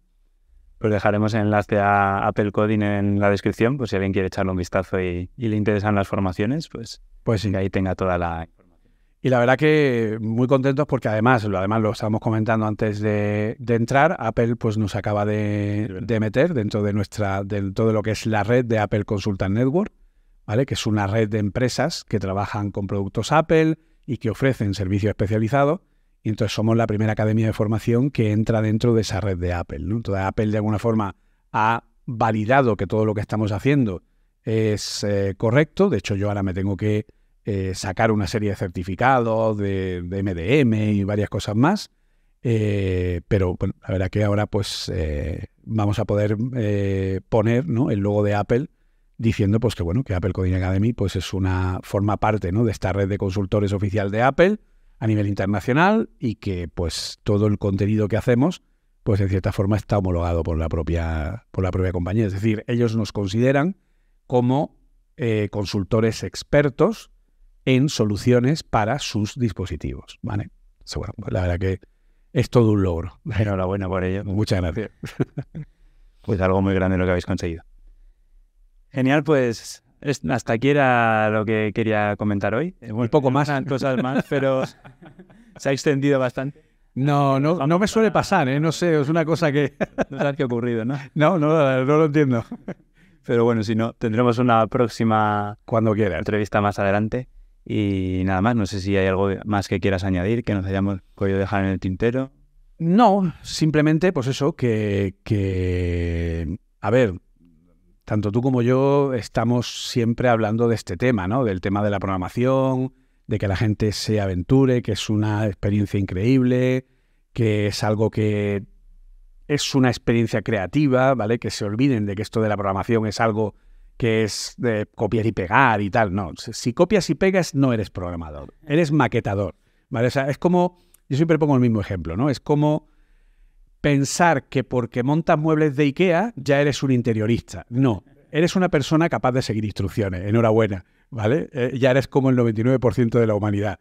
Eh, eso no es ser programador, ¿vale? Ser programador es entender cómo es el código, ser capaz de crearlo, porque la programación es un trabajo creativo, es como decía Steve Jobs, es un arte liberal, ¿vale? Entonces, al final, como decía el propio Jobs, todo el mundo debería aprender programación porque al final, ¿qué hace? Te enseña cómo pensar, te enseña a cómo crear, ¿no? Eso que hemos hablado de los algoritmos. Los algoritmos es cómo dividir un problema y atomizarlo en pequeñas soluciones que se enganchan unas a otras hasta obtener una solución final más grande, ¿no? Entonces, que la gente se aventure, que la gente pruebe, que la gente quiera aprender a programar, que luego a lo mejor no te dedicas profesionalmente a ello, pero dadle una oportunidad porque yo creo que es algo que te enriquece como persona y que luego pues a lo mejor encuentras algo que te llene a nivel personal y profesional y puedas reinventarte, ¿no? De alguna manera. Y que programadores van a hacer falta siempre. O sea, no es. Yo creo que tenemos la suerte de estar dentro de un